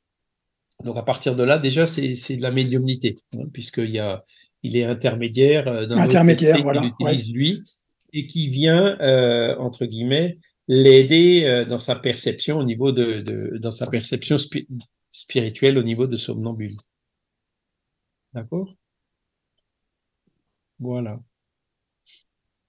Donc, euh, c'est ça qui. Euh, donc là, je pense qu'on a fait le tour maintenant de, euh, des différentes. oui, il y a Didier sur le possibilités d'extériorisation de l'être de humain. Oui. Il y a Didier, excuse-moi. oui, il y, a une, remarque de Didier. Il a précisé hein, sa question. Oui. Euh, j'ai parfois constaté sur des personnes une position de l'âme assez haute, symptôme d'un manque d'ancrage ou une difficulté à se réaliser. La réponse était intéressante avec les liens atomiques de l'âme vers le corps physique. Merci. Alors effectivement, bon, euh, des, manques d'ancrage, euh, j'ai déjà vu ou entendu parler des personnes qui disaient votre âme elle est décalée, votre aura est décalée. Mmh. Ah oui, c'est la mode. C'est la mode Ah bon Oui, oui. J'ai entendu il y, a, il y, a, quelques décennies déjà. Oh, ah bah alors, c'est revenu à la mode alors. Ah, ben, voilà. oui. Et je pense que ça correspond à une réalité. Hein. Euh, alors là, je vous renvoie vers un autre livre. Hein, c'est euh, Le fantôme des vivants, d'ailleurs, hein, le titre du livre de Hector Durville. On doit l'avoir sur l'encyclopédie Spirit. Oui, je pense que je suis, je suis assez sûr qu'on l'a. Et euh, donc lui, il, arrivait euh, par des processus photographiques à, photographier euh, l'âme euh, à côté de son corps. Hein. donc c'était donc là on parle déjà de dédoublement, hein, c'est le troisième sous-titre. Et donc effectivement, quand, quand, l'esprit avec son père esprit est légèrement décalé par rapport à son corps, ça peut, je pense que ça correspond à une réalité, ça peut effectivement correspondre à un certain nombre de troubles. D'accord? Maintenant, je, voilà, c'est, je pense que toutes ces choses-là, alors c'est vrai qu'il y a, il y, a, il y a beaucoup de, la fois où j'ai vu, euh, entendre parler de ça, c'était pas dans des circonstances euh, à vraiment inspirer confiance, hein, mais c'est comme tout, hein, euh, voilà, le, livre de Durville m'a un peu éclairé euh, sur ces questions-là, effectivement. Hein, euh, il, y a, une réalité derrière ces choses-là qui gagnerait beaucoup à être développées euh, scientifiquement et puis par la suite aussi des applications éventuellement médicales. Hein, ça, c'est clair. Mais tout à l'heure, tu parlais de télépathie. Comment il l'explique, Léon Denis, par exemple? Comment les spirites hein, Comment on peut expliquer? Qu'est-ce que la télépathie? Enfin, tu l'expliques. Voilà. alors, la télépathie, hein, c'est euh, donc euh, euh, on a deux, il y a deux personnes, hein, un qui émet une pensée, hein, qui se concentre pour émettre une pensée, et une autre personne qui se concentre pour recevoir cette pensée, d'accord? Et donc par exemple, l'émetteur, il émet une pensée ou voire une image, et le récepteur, ben, il reçoit une image et il la dessine. Et ensuite, donc ça, c'est les expériences de télépathie telles qu'elles sont faites. Alors bien sûr, les personnes sont à distance. Des fois, on les met dans des cages de Faraday. Il y a des protocoles qui sont mis en place, comme euh, un protocole qu'on appelle Gansfeld. Hein. J'avais vu ça à l'Institut métapsychique international à Paris euh, quand je l'ai visité il y a, il y a une dizaine d'années. Et donc, euh, voilà, c'est comme ça qu'ils expérimentent euh, la télépathie et puis ils ont, ils ont réussi à dire oui, effectivement la télépathie fonctionne hein, avec des analyses statistiques. Euh, mmh. euh, le fait d'avoir des d'émettre des images ou de les recevoir au hasard, l'action télépathique, elle était vraiment avérée quoi. Hein. avec avec tous les calculs probabilistes qui sont entre les deux. Hein. Maintenant. Euh, euh, comment dire, il y a euh, dans l'action télépathique, il y a, il y a beaucoup de, de, ça se produit souvent de façon spontanée. Hein. On pense à une personne hein, qu'on connaît, un proche, euh, on lui téléphone et la personne, tiens, ben, j'étais justement en train de penser à toi. Hein, c'est une forme de télépathie. Et ça, ça arrive beaucoup plus souvent qu'on ne le pense. Oui, oui. Voilà. Donc c'est la forme, je dirais, la plus simple, la plus rudimentaire, bien sûr un peu subjective, hein, euh, mais, mais, pour les intéressés, euh, ça l'est pas. Hein, c'est quand même une expérience qui pour eux est réelle, mais qui peut pas être vérifiée par une tierce personne, hein, mais qui, qui correspond justement à cette télépathie. Donc il y a eu beaucoup de recherches qui ont été faites euh, sur la télépathie, notamment par les Russes, par le. Et puis par les Américains, parce que les Américains aussi, ouais. Voilà, euh, donc les, les, pour, pour développer les communications, la radio qui pouvait être piratée, détectée, euh, qu'il faut crypter, en plus ça peut être, euh, comment on dit ça, brouillé. Hein c'est mmh. voilà, alors que le, il, il, les, les, recherches télé, sur la télépathie étaient pour eux intéressantes parce que il y a des applications assez, comment dire, intéressante, hein, euh, déjà d'un point de vue militaire, mais après d'un point de vue aussi général. Quoi. Ce qui a été fait beaucoup par les Américains, c'est le remote viewing, à voir à distance, quoi, pour voir les, les infrastructures militaires à l'étranger, etc., chez l'ennemi, etc. Voilà. C'est vrai que ça, ça... Alors ça, c'est déjà l'étape d'après. Euh, d'après, oui. Hein, c'est-à-dire que là, euh, le remote viewing, c'est-à-dire ceux qui font de la télépathie ne se déplacent pas. Hein. Il y en a un qui. Non, non, c'est vrai. Alors que le remote viewing, c'est le sujet, ben, là, son âme s'extériorise, va là où il veut aller pour observer quelque chose, observe et ensuite revient et décrit ce qu'il a observé. Ouais. Hein, par exemple, les, les, plans des ennemis, le secret de la base militaire de je ne sais quoi, etc. Voilà. Hein alors, à ma connaissance, euh, ces, ces études-là, qui étaient très poussées autant par les Russes que par les Américains, euh, ont un peu été abandonnées, hein, parce que ça ne fonctionne pas de façon euh, aussi fiable qu'ils l'auraient espéré. Oh, c'est sûr. Et en tant que spirit, on peut même dire que comme ça fait intervenir l'âme, et comme dans le monde des esprits, ben, notre âme a une vision qui est différente de ce qu'elle a quand elle est incarnée, hein, et qu'il y a d'autres esprits aussi dans le monde spirituel qui voient aussi les choses différemment de ce que nous on voit de, façon incarnée, ben, il peut y avoir un certain nombre d'obstacles qui font que euh, ben, des fois ça bloque, ça ne marche pas. Alors, il y a un cas euh, récent qui a, été qui a été décrit. Alors, attendez voir. L'expérienceur s'appelle Nicolas Fraisse. Et puis, euh, la dame qui fait les recherches, euh, zut, son nom m'échappe, mais ça, je pense que ça va me revenir. Donc, je sais qu'elle a un, centre qu'elle appelle de noétique dans la région de Genève. Et donc, elle, elle est arrivée à faire des expériences avec Nicolas Fraisse, hein, qui était euh, euh, assis euh, dans une salle hein, et qui a pu donc s'extérioriser et aller dans une salle à côté, bien sûr, qu'il connaissait pas, qu'il n'avait pas vu, avec des trucs méthodologie en double aveugle, avec des, trucs cachetés, etc., qui allaient bien.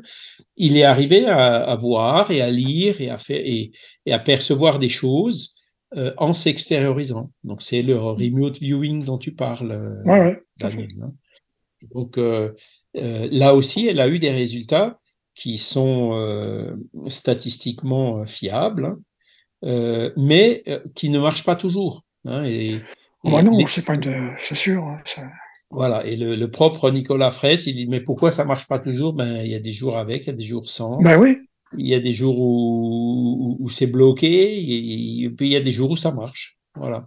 Donc on maîtrise pas encore tous les paramètres. Mais que des fois ça marche, ça, ça semble quand même statistiquement, il y a quand même des évidences très très fortes. D'accord? Voilà. Alors, euh, la télépathie, en fait, pour l'expliquer, c'est très simple. Hein. C'est euh, quand on émet une pensée, euh, cette pensée se transmet par ce qu'on appelle le fluide cosmique universel, hein, par la, par l'éther, hein, qu'on appelait l'éther dans le temps. Je pense qu'on en a déjà une fois parlé de ce fluide cosmique universel. C'est quand on parle, ben, la parole est transmise par les vibrations de l'air. Hein. Euh, quand on émet une lumière, la lumière, ben, c'est des photons, un rayonnement électromagnétique qui se propage à la vitesse de la lumière, même dans le vide. Hein. et la pensée, ben, c'est un système similaire, sauf que c'est encore plus rapide que la lumière, c'est-à-dire que ça se propage dans le monde spirituel, d'accord? Par ce qu'on appelle ce fluide cosmique universel, d'accord? Donc, chaque fois qu'on pense à quelque chose, euh, l'action de cette pensée, bon, dans le monde physique, tant qu'on la transforme pas en action, il se passe rien. Mais dans le monde spirituel, la pensée, c'est déjà une action. D'accord? Le fait de penser à quelqu'un, par exemple, le fait de prier pour quelqu'un, d'accord? Ben, vous, on envoie des ondes de pensée vers cette personne. Et cette personne, alors elle s'en rendra compte ou pas, mais elle va les percevoir. D'accord? Et donc la télépathie, ça fonctionne comme ça. D'accord? C'est, euh, euh, entre guillemets, les la radiofréquence, hein, du monde. Oui, c'est ce que je voulais aborder justement, c'est de l'énergie en fait. Hein, euh, C'est de l'énergie, voilà. Elle n'est pas matérielle, hein, on n'arrive pas à, la à, la capter avec les goniomètres, avec des antennes, avec, hein, mais elle, est, elle existe dans le monde spirituel. Et c'est elle qui explique, par exemple, l'action de la prière. Autant d'incarner à incarner que d'incarner à désincarner, que de désincarner à incarner, que de désincarner à désincarner. Ça fonctionne euh, partout. Hein. D'accord? Donc l'effet de la prière s'explique par la transmission de pensée. D'accord? Mais ce qu'on appelle télépathie, c'est euh, plutôt d'essayer de transmettre, euh, euh, comment dire, des messages. Donc on avait dit, tu penses à quelqu'un, tu lui téléphones et la personne, ben, j'étais justement en train de penser à toi. Donc ça veut dire quoi? Ça veut dire qu'on a envoyé des pensées vers cette personne-là. Cette personne-là, d'une certaine façon, les a captées. Hein elle les a relayées hein, en, pensant à nous parce qu'elle sentait ces pensées qui venaient de nous, mais sans le savoir consciemment. Hein. Et puis d'un coup, paf, il y a l'effet le, matériel qui est le coup de téléphone, la sonnette du téléphone, euh, qui vient confirmer ce qui avant était euh, du domaine de la pensée et qu'on appelle aussi les phénomènes de synchronicité. Ouais. Hein, j'ai pensé à toi au moment où tu as pensé à moi. D'accord? Euh, Voilà. Et donc, euh, mais pour que ça fonctionne, évidemment, ben, il faut penser avec une certaine intensité. Hein.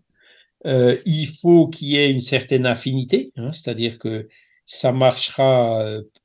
la personne qui arrive à capter la pensée, c'est quand même une personne qui est en affinité avec nous. Si, par exemple, on, on, pense à un ennemi, hein, on pense en mal à quelqu'un, ben, ces pensées vont quand même aller atteindre cette personne qui, ressentira en fait l'effet de ces mauvaises pensées, hein, ben, plus ou moins intensément selon, euh, selon, sa propre sensibilité. Hein, mais euh, elle pensera pas forcément à nous, hein, puisqu'elle n'est pas en affinité avec nous. D'accord? Donc, alors la télépathie, c'est vraiment, on essaye de communiquer hein, par, euh, par la pensée. D'accord? Et puis des fois, bah, ce genre de dialogue euh, se, fonctionne. Et puis alors là, bah, pareil, hein, tous ces gens, de, ces chercheurs de l'époque, euh, Alan Kardec a déjà recueilli un certain, avait recueilli un certain nombre de témoignages. Après, il y en a eu beaucoup, beaucoup, beaucoup d'autres, hein, par les Anglais, par Camille Flammarion, qui en a beaucoup recueilli beaucoup de témoignages de la sorte. Et donc, euh, dans les procès verbaux euh, de, de, de, ces expériences et dans les livres, vous trouverez des, des, centaines et des centaines de cas qui décrivent comment ça fonctionne. D'accord? Et en rappelant qu'à l'époque, évidemment, il n'y avait pas d'Internet, il n'y avait pas de. Aujourd'hui, c'est beaucoup plus suspect. Hein, c'est beaucoup plus difficile hein, d'assurer euh, une neutralité parce que la technologie, quelque part, a un peu rattrapé les choses. Hein, euh, et, et, donc, euh, je pense qu'aujourd'hui, les conditions d'expérimentation devraient être beaucoup, beaucoup plus strictes et plus difficiles. Quoi, hein. Mais à l'époque, il n'y avait pas, il y avait juste la télégraphie et encore c'était réservé, euh, voilà, hein, il y avait des débits qui étaient très faibles, on pouvait pas passer de gros messages, etc. Hein. Euh, Donc à l'époque, les, les, témoignages avaient quand même un cachet d'authenticité assez fort. Voilà. Et donc, euh, alors Léon Denis l'en cite dans le livre. Hein. Par exemple, il parle du Daily Express, hein, c'est un journal anglais de septembre 1907, hein, qui rend compte de plusieurs séances de transmission de pensée données au roi Édouard VII et à d'autres personnages de sa cour par deux sujets qui étaient Monsieur et Madame Zanzig. Voilà. Et donc, le propre roi d'Angleterre avait fait des expérimentations sur la télépathie. Et donc, euh, le roi, il, avait publié à l'époque, hein, dans ce Daily Express. Et c'est pour ça qu'en Angleterre, beaucoup de gens s'étaient intéressés à la télépathie à, à, l'époque. Ouais. D'accord? Et donc, euh, voilà, c'est, il, il, il, euh, il l'expérimentait. Hein, il, dit, il, va, il rentre un peu plus dans le détail en disant que bah, le roi, il avait soumis les deux sujets, hein, monsieur et madame Zanzig, euh, aux épreuves difficiles. Mais euh, chaque fois, ça avait euh, fonctionné. Hein. la communion de pensée existait, hein, non pas de loin en moins, mais de, de, façon constante et normale, entre le mari et la femme, voilà, qui arrivait donc à se, à se communiquer. Euh, donc, ce qu'il faisait, par exemple, le premier, ben, il lisait une lettre, et, la, et sa femme, elle était loin, à une grande distance, donc elle ne pouvait pas l'entendre, et en plus, elle avait les yeux bandés. Hein. Elle arrivait à percevoir le contenu de la lettre et à le décrire. Hein, c'est le genre d'expérience qu'il faisait. Voilà. Donc, monsieur et madame Zanzig, c'était bien sûr, bon, mari et femme, hein, ils avaient une affinité entre eux, ce qui, faisait, qui facilitait que la télépathie fonctionne avec le roi d'Angleterre euh, qui, qui essayait de prouver sincèrement que, que ça existait et que ça fonctionnait, quoi. Mais Léon Denis, c'est vrai qu'il donne pas mal d'exemples, je trouve, dans son livre. Enfin, même sur tous les, les, domaines, hein, pas que la télépathie, mais les autres domaines, il donne beaucoup d'exemples concrets, finalement. C'est ça qui est bien. Oui, j'en ai relu là, pas mal euh, cet après-midi, hein, effectivement. Mm. Il y a une question de, alors, de Catherine via euh, l'application, euh, mais ça revient sur les, les rêves. Elle demande, donc elle dit bonsoir, Charles explique que l'âme est libérée la nuit et que nos rêves sont l'expression de ses voyages. Qu'en est-il des cauchemars? N'est-ce pas plutôt notre inconscient qui met en lumière nos angoisses et autres malaises? Merci de votre réponse. Alors ça peut, effectivement, le cauchemar, euh, ça peut être notre inconscient ou quelque chose qui nous a troublé ou qui nous préoccupe et qui s'est amplifié pendant le sommeil. Hein, donc, notre propre inconscient qui le crée. Parfois, ça peut aussi être l'âme qui va vers des régions euh, du monde spirituel, euh, euh, comment dire, qui sont, hein, l'âme qui, par exemple, qui va visiter le seuil, peut revenir, ça reviendra sous forme de cauchemar aussi. D'accord? Donc tout, tout dépend de, notre disposition. Parfois, c'est effectivement, c'est onirique, hein, ça vient de l'inconscient. Parfois, ça peut être une expérience réelle d'une situation difficile que l'âme a vécue. Alors, les rêves, ça peut être de, de voir, par exemple, le seuil, hein, euh, en, en, référence du seuil de, de nos solars, hein, donc ces régions du monde spirituel où il y a beaucoup d'esprits souffrants. Mais ça peut être aussi, par exemple, ben, se transporter quelque part sur la planète où, où on voit des choses horribles, hein, des, des, des, de la guerre, de la famine ou ce genre de choses. Et donc, euh, que euh, l'âme, en se réveillant, peut aussi euh, ramener sous forme de cauchemar. Et, et, parfois, ça peut aussi être un mélange des deux. C'est ça qui est compliqué avec l'interprétation des rêves, c'est que c'est toujours un peu, il y a toujours un peu un mélange, il y a toujours un peu flou, quoi, hein, parce que il y a ce processus de transfert de la mémoire spirituelle vers la mémoire consciente, hein, qui euh, où, il y a pas mal de, de de perte hein, dans, dans, ce transfert. Voilà. Merci, Catherine pour ta question. Parce que c'est bien de contacter aussi. Voilà, il y a le mail, il y a l'application euh, pour la radio du Lotus aussi. Donc c'est super. Merci beaucoup. Alors la télépathie, une des explications, c'est de dire ouais, c'est une hallucination. Alors hallucination, ça c'est vraiment le, tiroir où, ceux qui veulent pas croire à l'existence de l'âme et au fait que l'âme peut se communiquer à une autre âme par télépathie, ben, ben non, c'était une hallucination. Hein. Mais des fois, c'est tellement précis, il y a tellement d'évidence, euh, statistiquement parlant, que ça peut pas être une hallucination. C'est pas possible. Hein. Donc, euh, je vous propose qu'on lise un des exemples que Léon Denis donne, hein. celui du docteur Balm de Nancy qui soignait euh, Madame la comtesse de L. Point de suspension, donc il lui donne pas de, cite pas son nom, atteinte de dyspepsie. Alors ça, malheureusement, j'ai pas regardé ce que c'était avant, hein. euh, mais bon. Elle se rendait à ses consultations et il ne pénétra jamais dans sa demeure, située hors de la ville. Donc c'est une dame, hein, cette comtesse, qui venait voir consulter ce docteur pour euh, cette maladie euh, euh, au cabinet du docteur, d'accord? Le docteur n'était jamais allé chez elle. Et trois jours après une de ses visites, le 19 mai 1899, rentrant, donc le docteur rentrant chez lui et traversant l'antichambre, il entendit ces mots. Comme je me sens mal et personne pour me secourir. Donc il a entendu des mots, c'est des mots qui lui sont venus dans la tête. D'accord? Et c'est justement euh, la télépathie, quoi. C'est-à-dire la personne, se sent, la comtesse, là, se sentait effectivement mal, et elle a pensé à son docteur avec, exactement cette pensée. Je me sens mal et il y a personne pour me secourir. Et le docteur, ben, il a réussi à le capter, d'accord? Même s'il n'y prêtait pas particulièrement attention. Les mots lui sont tout simplement venus à la tête, dans la tête, d'accord? Puis, il entendit le bruit d'un corps qui s'affaissait sur une chaise longue. Donc là, c'est déjà un peu plus précis. Hein. La voix était celle de Madame L, donc il a reconnu la voix qui lui parlait. Hein. Il s'informa, mais nul de la maison n'avait vu ni entendu cette dame, donc elle n'était pas là. Hein. Il se retira dans son cabinet de travail, se recueillit et, s'étant placé en léger état d'hypnose, donc c'est auto-hypnotisé, se transporta chez la dame et la vit.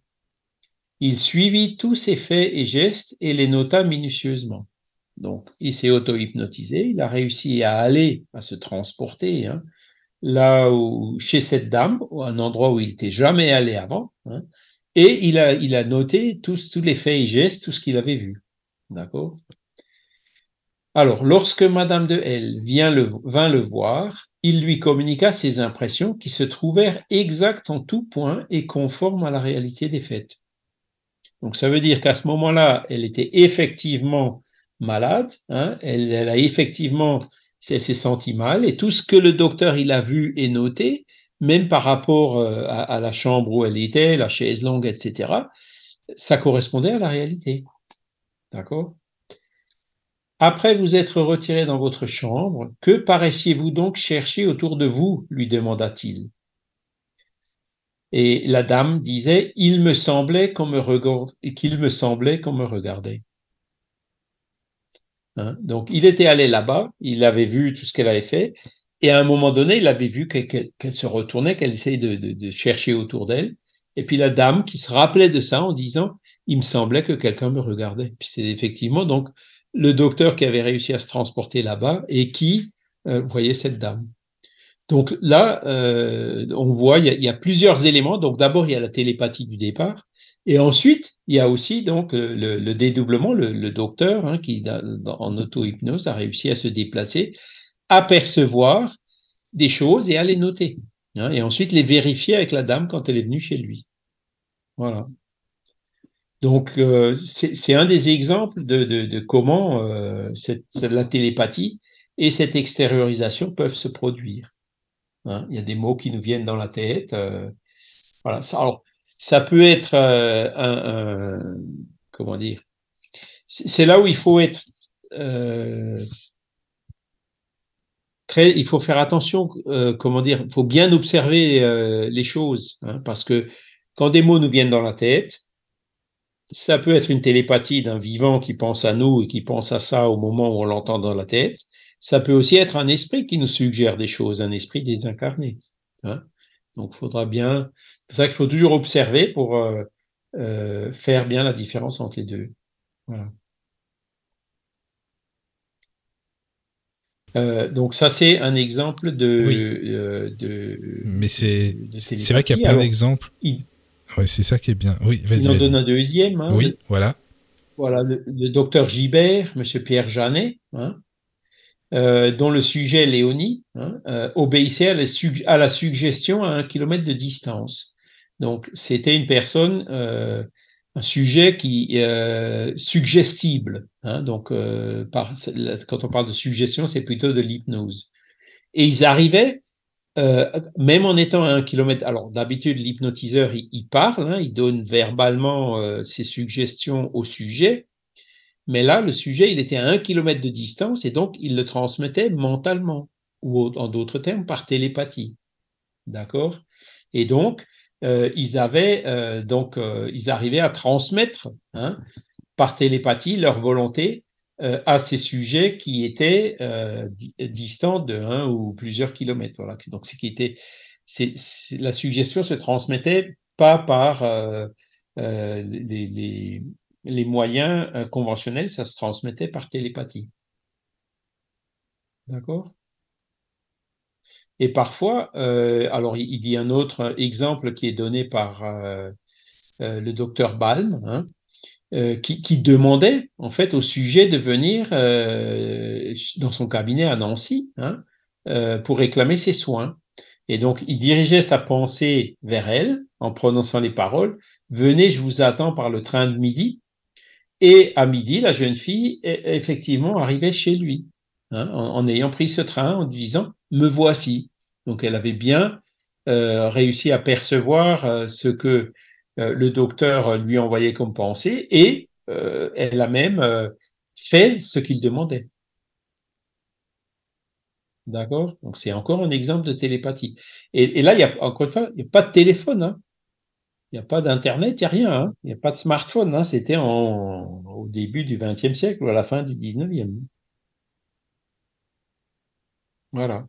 Alors là, bon, bah, c'était un docteur, c'était un sujet qui était euh, suggestionnable, ils se connaissaient, il y avait des affinités entre eux. Voilà pourquoi ça fonctionnait, quoi. Ouais, Dans les expériences militaires dont on parlait tout à l'heure, euh, les affinités, il n'y en a pas de trop. Hein, c'est, ah, c'est vraiment, on est dans le pur et dur. Hein. C'est pour ça que c'est pour ça que c'est beaucoup plus difficile et que souvent ça marche pas, quoi. Ouais, ouais, bien sûr. Voilà. Voilà. Donc, euh, c'est alors après il y a, y a d'autres euh, il y a d'autres phénomènes oui il y a d'autres oui c'est ça ou avec des actions qui sont liées hein. euh, donc par des bruits, par des visions. Hein. L'action télépathique, c'est pas toujours une voix qui parle dans notre tête. Hein. Ça peut être euh, des bruits ou, ou, des visions. Hein. C'est-à-dire que la personne voit euh, la personne, l'autre qui est en train de, d'essayer de, lui, de se communiquer télépathiquement avec elle. Donc là, il, il, nous cite aussi un exemple. Si vous voulez, on peut aussi le lire. Hein, c'est pas très long. Ah bah oui, oui, oui. Allons-y. Donc c'est Madame Troussel, née Daudet, hein, parente de l'illustre écrivain, hein, donc Alphonse Daudet, habitant Alger à l'époque, hein, rue Daguerre, donne des détails. Hein. Donc elle communique télépathiquement à heure convenue avec plusieurs de ses amis, chacune se servant à son tour de transmetteur et de récepteur. Donc là, euh, elles se mettent d'accord en avance par lettre, évidemment, hein, euh, entre l'Algérie mmh. et la France, euh, de dire ben, tel jour, telle heure, ils font un programme, quoi. On va essayer de se communiquer par télépathie. Une fois, c'est moi qui me communique à toi à telle heure, et à telle autre heure, c'est toi qui te communiques à moi. D'accord? Donc là, elles, elles ont programmé les contacts télépathiques. D'accord? Après, euh, elles établissent réciproquement le procès verbal des pensées émises et des impressions ressenties. D'accord? Et ensuite, euh, elles les comparent. D'accord? Alors, il continue en disant Des questions mentales posées à distance obtiennent des réponses précises. Hein, donc, ça va, il pose une question et, et, et donc euh, le, le, récepteur arrive à capter la, la, la, la, question et à rédiger une réponse dans son procès verbal. D'accord? Euh, En moyenne, 7 expériences sur 10 réussissent. Donc 70%, ça fait, c'est quand même. C'est déjà un, bon taux. Hein ouais. Voilà. Parfois, la pensée, tendue avec intensité, produit une action physique sur les meubles qu'elle fait vibrer fortement. Donc là, euh, non seulement donc ces dames-là qui se connaissent, qui sont en affinité, qui ont fait tout ce programme, qui arrivent euh, euh, donc à heure, à heure convenue à, à, émettre et à recevoir, mais parfois pendant ce moment-là, il y a eu, il y a, même des effets physiques, hein, donc un meuble qui, vibre fortement. Hein, donc c'est c'est quelque chose qui vient en plus de cette télépathie. Alors on sait très bien que ben, dans les phénomènes de, de poltergeist par exemple, hein, ou de maison ouais les esprits peuvent, euh, à partir du moment où il y a un médium à effet physique, hein, quelque part, faire vibrer un meuble. Et donc là, euh, cette action physique, c'était, alors c'est un peu plus compliqué à expliquer, mais euh, le fait que ça se produise justement à ce moment-là, mais ça peut être l'action euh, donc de, l'esprit qui émet par télépathie, qui utilise peut-être euh, de la médiumnité à effet physique du récepteur, pour euh, en même temps faire vibrer le meuble. Voilà. Après, elle continue en disant, Madame Troussel a fait la même expérience avec une de ses amies de Marseille, hein, donc pareil, on va aller d'Algérie jusqu'à Marseille. Hein. Elle devait se mettre en communication le jeudi saint à 8h30 du soir. Mais le méridien n'étant pas identique et Marseille étant en avance sur Alger, hein, donc c'était pas la même fuseau horaire. Ah oui? Bah oui, pas oui. Comme Madame Troussel montait à sa chambre pour y chercher l'isolement, elle se sentit envahie par un sentiment de tristesse. Un instant après, s'étant recueillie, elle vit apparaître sa jeune amie de Marseille. Près d'elle était un petit enfant qui lui tendait les bras en souriant et lui montrait un rayon lumineux qui semblait descendre du ciel. Madame Troussel s'empressa de faire parvenir à son amie la relation de cette expérience. Leurs lettres se croisèrent. Celle de Marseille contenait les lignes suivantes. J'ai choisi, choisi, le jeudi saint, cher ami, parce que c'était le jour anniversaire de la mort de mon enfant bien-aimé. À l'heure indiquée, vous êtes venu me consoler. J'ai pensé à ce moment à ce cher petit être. Y aviez-vous aussi songé? Je vous ai vu monter du rez-de-chaussée au premier, vous aviez une robe que je ne connais pas. Donc ça, c'est un détail qui était exact. Hein. Euh, chose étrange, en pensant à tout cela, je voyais en même temps l'immensité de la mer, le rayon lumineux du phare semblait venir du ciel et parvenait jusqu'à moi. Donc, Hein, les lettres qui se sont croisées et puis la dame donc qui disait que euh, elle, elle, expliquait en fait ce qu'elle avait vu hein, avec euh, l'enfant, hein, ce qui était l'anniversaire, ça elle le savait pas, et donc il lui montrait, alors viens voir. Euh, près d'elle était un petit enfant qui lui tendait les bras en souriant et lui montrant un rayon lumineux qui semblait descendre du ciel. Eh ben, c'était euh, le rayon lumineux du phare qui semblait venir du ciel et parvenir jusqu'à moi. Donc là, on voit euh, donc un effet de télépathie. Donc c'est beaucoup plus riche que juste des paroles, quoi. Hein. Ouais. Il y a l'évocation d'un défunt hein, qui, qui, que la personne réceptrice voit. Hein. Il y a même euh, donc euh, une, vision qui se fait par euh, le, rayon lumineux qu'elle a pensé venir du phare et, et, donc qui était confirmé aussi par l'enfant. Donc c'est une autre expérience de télépathie. Alors encore une fois, c'était des amis à jour et heure fixe qui avaient convenu donc de faire ce genre d'expérience et, et, donc le résultat il est quand même assez patent. Ouais, tout un programme bien monté, hein, c'est effectivement c'est bien. Voilà.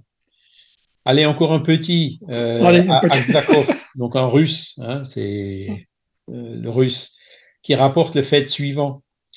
Monsieur Thomas Everett de Londres obtint par la main de sa femme un message d'un de ses amis médium en route pour l'Amérique.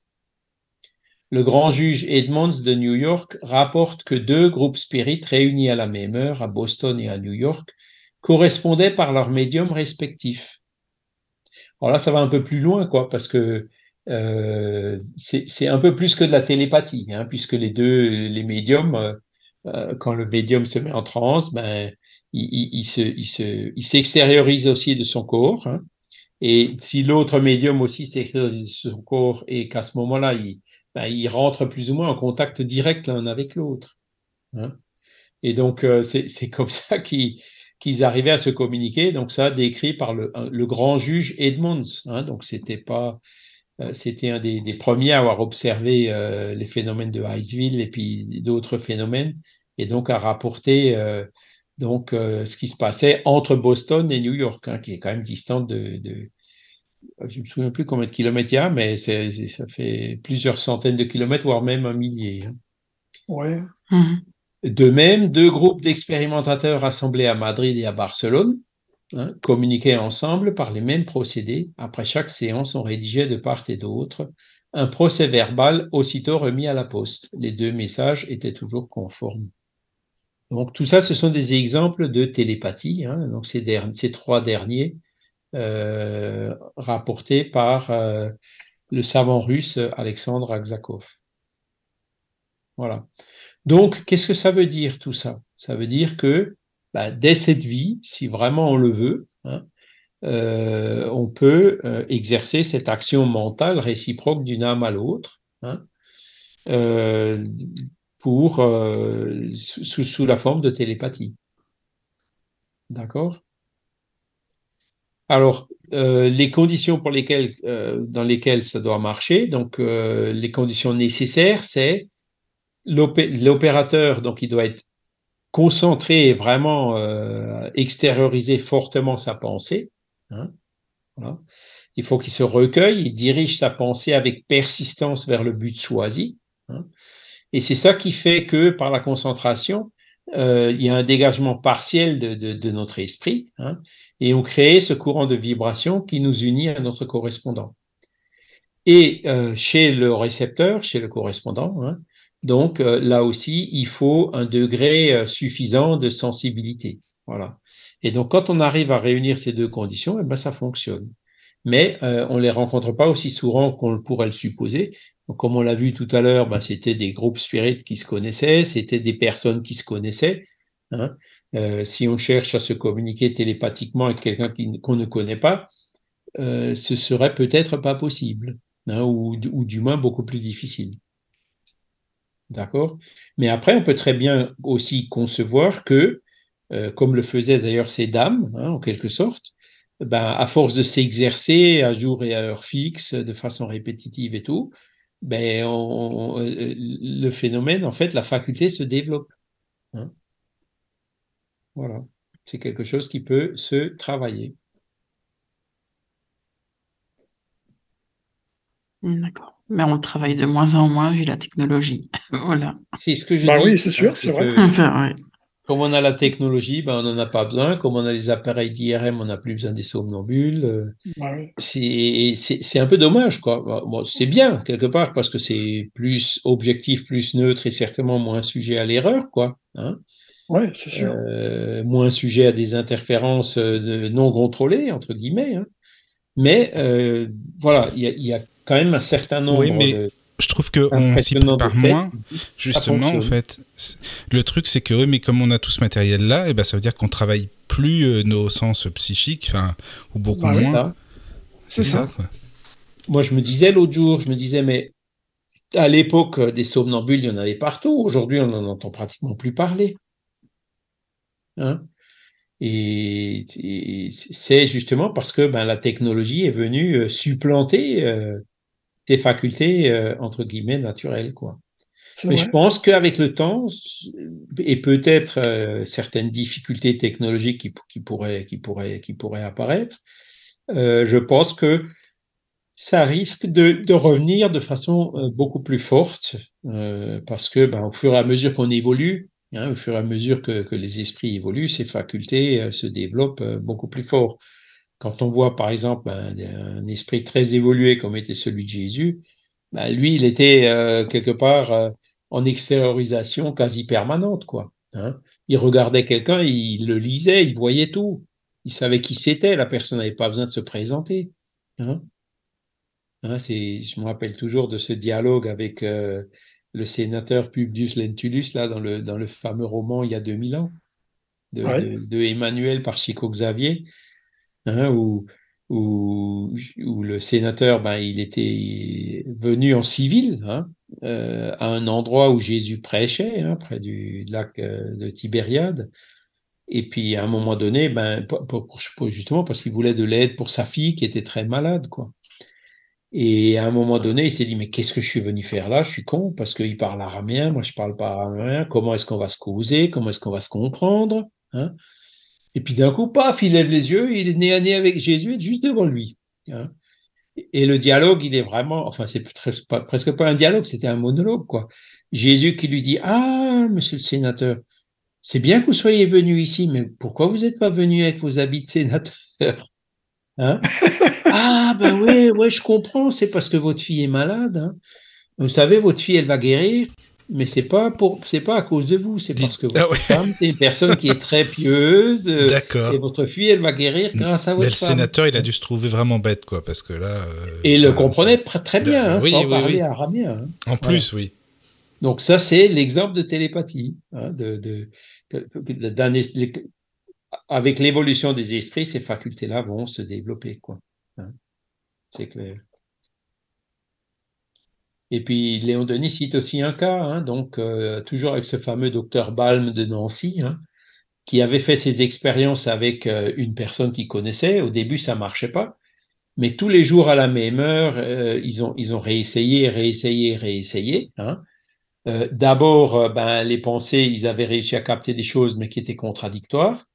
Mais avec le temps, c'est, c'est, ils ont vu juste, et puis ensuite, euh, ils ont réussi à se transmettre non seulement des mots, mais en plus des phrases. hein. Et c'est au bout de deux ans hein, qu'ils ont réussi euh, à se communiquer à distance à n'importe quel moment de la journée. Euh, ils frappaient d'abord quelques coups dans leurs mains, hein, même, même à distance, on ne entendait pas les coups dans la main, mais c'est peut-être quelque chose aussi euh, qui, qui crée une action qui se transmet euh, par télépathie. Comme un clap, pour, dire, de, Voilà, voilà, un début de transmission. C'est ça. Donc là, c'est un exemple qui montre que euh, on peut arriver à le développer, à travailler la télépathie par l'exercice. Alors, ce qui, ce qui gêne aussi dans la télépathie, c'est, ben, je sais plus combien on a de pensées à la minute ou à la seconde, la Ouais, journée, hein, c'est des ouais, milliers des milliers. Hein, euh, et ça, je sais que ben, ça m'arrive aussi, hein, les, les pensées qui divaguent et tout. Donc là, for ça, forcément, il faut c'est là où, où, où il faut euh, arriver à se, à se concentrer, à faire peut-être toutes ces méditations pleines conscience hein, vont un peu euh, dans le sens de, de parce qu'on n'arrive pas à les arrêter ces pensées qui, qui hein, ah, on peut pas agir comme on voudrait, hein, c'est vrai. Hein, ouais. Hein. Mais il faut il faut savoir euh, comment dire filtrer, d'accord, euh, mm. à reconnaître la pensée suggérée qui vient de l'extérieur par rapport à ce flot continu de pensée. Ouais, mettre ben en évidence, tu vois, le, ce que l'on veut. Euh, Mais c'est pas évident, hein, parce que c'est un exemple que je prends souvent, enfin j'en parle souvent, ne serait-ce que quand, enfin vous, je sais pas, mais quand j'écoute un livre audio, bah évidemment je suis dans le bouquin, mais il y a un moment où quand même euh, le cerveau il va un peu ailleurs, tiens, euh, qu'est-ce que je vais faire ce soir, machin. Puis après tu dis, ah, non, mais non, je suis ah, dans le bouquin, je, suis où, rembobiner, oui. moi c'est pareil, hein. oui, c'est pareil aussi chez moi. ah oui, oui. Non, mais ça c'est vrai que c'est pas facile, hein, parce que c'est là tu te dis, mais il y a plein de pensées en même temps et on n'arrive pas à être concentré en, tout le temps dessus, quoi, comme on voudrait, quoi, finalement. Même en, écoutant un documentaire aussi, hein, tu pars, bon, euh, voilà, ça, oui, c'est effectivement. Et le, le, les smartphones, le multitâche, euh, les zoop zoop, euh, les bling bling, ça ne nous aide pas. Hein. Ah, c'est sûr, c'est vrai. Donc là, là, il y a une question, je pense que partie de cet entraînement, il faut qu'il y ait un entraînement justement à euh, arriver à mieux contrôler euh, ce flot de pensée euh, instable qui va d'un objet à l'autre. Il hein. faut, faut, faut savoir travailler avec notre volonté pour imposer à nos pensées un but précis. Hein. C'est l'émetteur, par exemple, il faut vraiment qu'il pense que à ce qu'il veut émettre. S'il pense à 36 mmh choses à la fois, euh, ce qu'il va émettre, ça va être brouillé, et puis l'autre, le pauvre en face, qui veut capter quelque chose, il va aussi capter quelque chose qui est brouillé. Hein. Bon, demain à 9h, Caro, je vais te poser une question. Hein. Donc, concentre-toi, 9h du matin, je te pose une question. voilà. Et donc, Mais il y en a qui pourraient sans, enfin, comment dire, avoir, avoir des intentions justement mauvaises avec cette télépathie par rapport à une personne. C'est comme tout, hein, Caroline. Ah oui. La parole euh, peut être bonne ou mauvaise. Euh, sûr. L'émission de, tu peux émettre de bonnes pensées vers une personne ou tu peux émettre de mauvaises pensées vers une personne. Hein. Bah oui. Toutes les facultés qu'on a hein, sont neutres. La médiumnité aussi peut être utilisée pour le bien ou pour le mal. Donc, euh, c'est on va pas, parce qu'il y en a qui, qui, disent des mauvaises choses, euh, faire de sorte que tout le monde soit muet. Ça n'aurait pas de sens. Hein. Les mhm. facultés existent, hein, mais il faut savoir que dans l'état d'évolution euh, encore limité dans lequel se trouve euh, la moyenne des, de nos compatriotes terrestres, ben voilà, il y aura forcément des, comment dire, ils envoient des suggestions, non pas pour faire des choses bien, mais ils envoient des suggestions pour faire des choses, des choses euh, moins bien. Comme par exemple le, médecin qui a suggéré à la dame de venir le consulter, quoi. Mais la dame, euh, elle, elle, arrive à capter euh, donc la suggestion qu'elle reçoit, mais elle garde quand même son libre arbitre pour le faire ou ne pas le faire. ah oui, voilà. Mhm. C'est important. Donc, il vaut mieux, je dirais, on arrive plus facilement à résister à une mauvaise pensée qu'à quelqu'un qui nous tape dessus avec un bâton. Hein. C'est voilà. Bon, et tous ceux qui m'envoient des mauvaises pensées, là, oh, n'en faites pas, ça, ça passe au-dessus, là, voilà. Mm-hmm. des fois, quand on a des moments difficiles, là, c'est. Oui, évidemment. quelqu'un qui pense mal de nous, euh, ça doit être dur. Et c'est pour ça que moi, je dis, bon, faut, faut faire attention aussi à ce qu'on fait, quoi. Euh, quand je vois, je sais pas moi, donner des exemples, des, par exemple, des, des, des, des personnes qui s'habillent, je dirais, de façon un peu euh, légère ou provocante. Provocante, oui. Euh, imagine le nombre de personnes qu'elles croisent dans la rue. Qu'est-ce que ces personnes vont envoyer comme pensée vers, vers, vers cette, cette, cette euh, personne qui s'habille comme ça de façon légère? Hein. Est-ce que vous croyez sincèrement que ça va, lui, ça va faire du bien ou, ou, pas hein?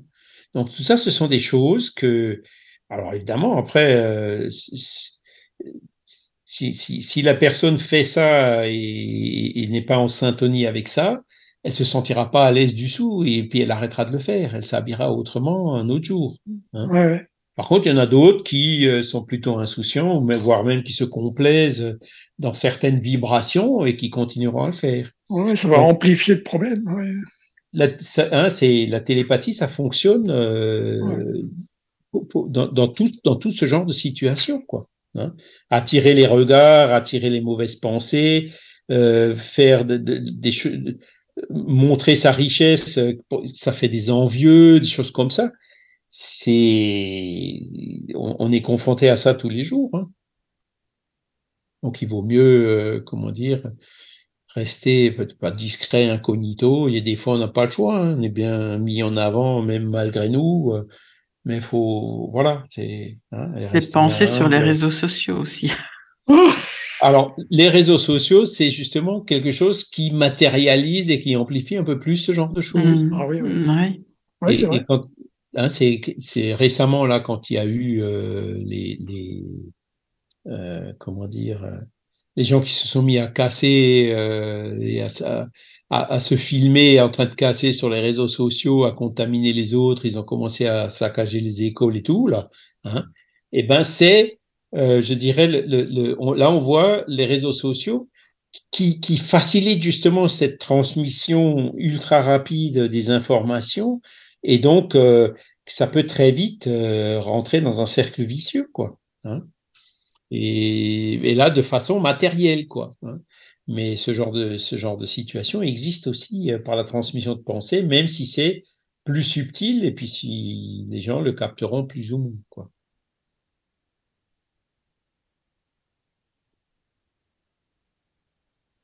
Vous pouvez penser que la radio du Lotus va avoir plus d'auditeurs encore, euh, qu'il y aura, je sais pas, des émissions euh, intéressantes encore plus, euh, je sais pas. C'est bien ça quand même. La télépathie pour ça, Ah. c'est bien. Ah oui. Après, c'est vrai qu'on peut aussi euh, ben, voilà, émettre des pensées positives, de paix, euh, les prières pour la paix.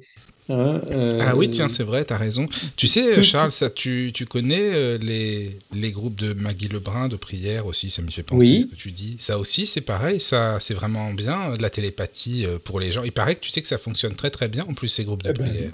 Oui, oui. Oui, oui, ça, ça fonctionne. Il y a même eu des études euh, qui ont été faites là aussi avec euh, des groupes de religieux hein, qui, qui priaient pour des enfants dans un hôpital avec un, en double aveugle. hein, des, des- Oui, c'est ça. Des oui, ils, ils ont vu que les enfants pour lesquels euh, ils priaient euh, se remettaient, euh, alors qu'ils avaient, ils, Oui. ils ont pris des enfants qui avaient le même genre de maladie. Hein, ceux pour lesquels on priait se remettaient beaucoup plus vite Oui, oui, c'est et, ça. et beaucoup mieux Ouais, que ouais, celles pour lesquelles on priait pas. Donc là, là maintenant, il y a eu des études hein, qui, qui, qui prouvent l'action de la pensée euh, sur euh, l'action de la prière, par exemple. Hein. Voilà. Et après, ben, il y a aussi euh, les pensées qu'on peut s'envoyer à soi-même. Hein, euh, bon, il y a la méthode Coué, mais il y a aussi Oui, euh, bien sûr. le- le- l'effet placebo. Ouais. Ça, ça d'ailleurs, tous les scientifiques y croient, l'effet placebo, même les matérialistes. Hein. On fait croire aux patients que, et puis du coup, pas, ça, ça fait l'effet, euh, même s'il n'y a rien dedans, si c'est que Même si- oui, c'est vrai. Mais voilà, comment ça fonctionne l'effet placebo? Ça, Tout le monde est d'accord que ça fonctionne, mais pourquoi ça fonctionne? Comment ça fonctionne? On constate les résultats. C'est vrai euh, C'est la force de la pensée de la propre personne euh, qui, qui, qui, qui, qui se rassure par rapport à sa maladie et puis qui, qui euh, comment dire, qui, qui, qui rentre dans un cercle bénéfique qui fait que, avec ses pensées bénéfiques, éventuellement l'aide de, de pensées euh, d'autres euh, entités spirituelles amies ou familiales, familières font que euh, l'effet il est patent et mesurable. Mm. Hein? Voilà. Eh ben, on a fait pas mal le tour là, non? Je sais pas, Charles, qu'est-ce que t'en penses ça? Parce qu'il y a beaucoup de Oui, choses. alors on a hein. fait le tour de alors l'extériorisation et la télépathie. Oui, Hein? c'est ça. Donc ce qui nous restait encore dans le chapitre, c'est euh, le dédoublement et les fantômes des vivants. Ah oui, ça c'est vrai. Il y a ça, c'est Mhm. intéressant aussi. Oui. Et là, il y a un exemple. Oui, Alors oui. pour ceux que ça intéresse, euh, on a traduit un livre. Je, je le donne juste peut-être pour les gens qui, qui, qui veulent regarder un peu à l'avance. hein, si si on parle de ça la semaine prochaine, on pourra peut-être rentrer un peu plus dans les détails. bah oui, oui. Euh, il y a un, un, un médium brésilien qui s'appelait Euripide Barzanulf. Il habitait dans une ville qui s'appelle Sacramento de Minas Gerais. Et donc, euh, on a traduit une biographie de ce médecin euh, en français. Et vous pouvez le trouver sur l'encyclopédie Spirit. Hein, ça s'appelle Euripide Barzanulfo, l'apôtre de la charité. Et dans ce livre, il y a, euh, une quantité assez impressionnante de, de, phénomènes de dédoublement avec une action tangible du double hein, qui sont relatés. Hein, donc euh, voilà, ah si hein. ça vous intéresse, vous pouvez jeter un coup ah d'œil. on en parlera un peu l'année euh, la semaine prochaine. Oui, oui, c'est très bien ça. On peut continuer la semaine prochaine le thème, hein, euh, continuer le, chapitre, c'est très bien. Moi, ça me va bien. Vous, très, très bien, oui, moi c'est pareil. Hein. c'est vraiment. Non, c'est génial. Bah, on fait comme ça, hein. c'est parfait. Voilà. Et puis, euh, bah, merci pour vos questions, que ce soit sur le chat, par mail. Merci, merci à, tous. merci Charles, encore une fois. Pour les questions, oui. Caro, Daniel. Alors, pour, trouver sur l'encyclopédie Spirit, hein, pour euh, vous qui êtes malvoyants, euh, l'auteur c'est Georges Rizini, R-I-Z-I-N-I, hein, parce que les livres sont classés par ordre alphabétique d'auteur. Ok. Hein, mais sinon, si vous faites une une recherche sur Euripide ou sur Barzanulf, vous allez tomber dessus. Mhm. Ok, bah c'est parfait. C'est super. Bah, merci beaucoup. Merci beaucoup, en tout cas, Charles. À la semaine prochaine, alors. Hein, donc on à la semaine prochaine. oui. Voilà, à la semaine nuit. prochaine. Merci bonne à nuit. Merci beaucoup. Bonne nuit à tout le monde. Bonne nuit.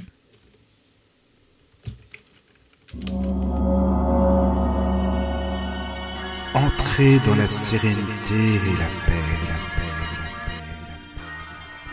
Bienvenue sur la radio du Lotus.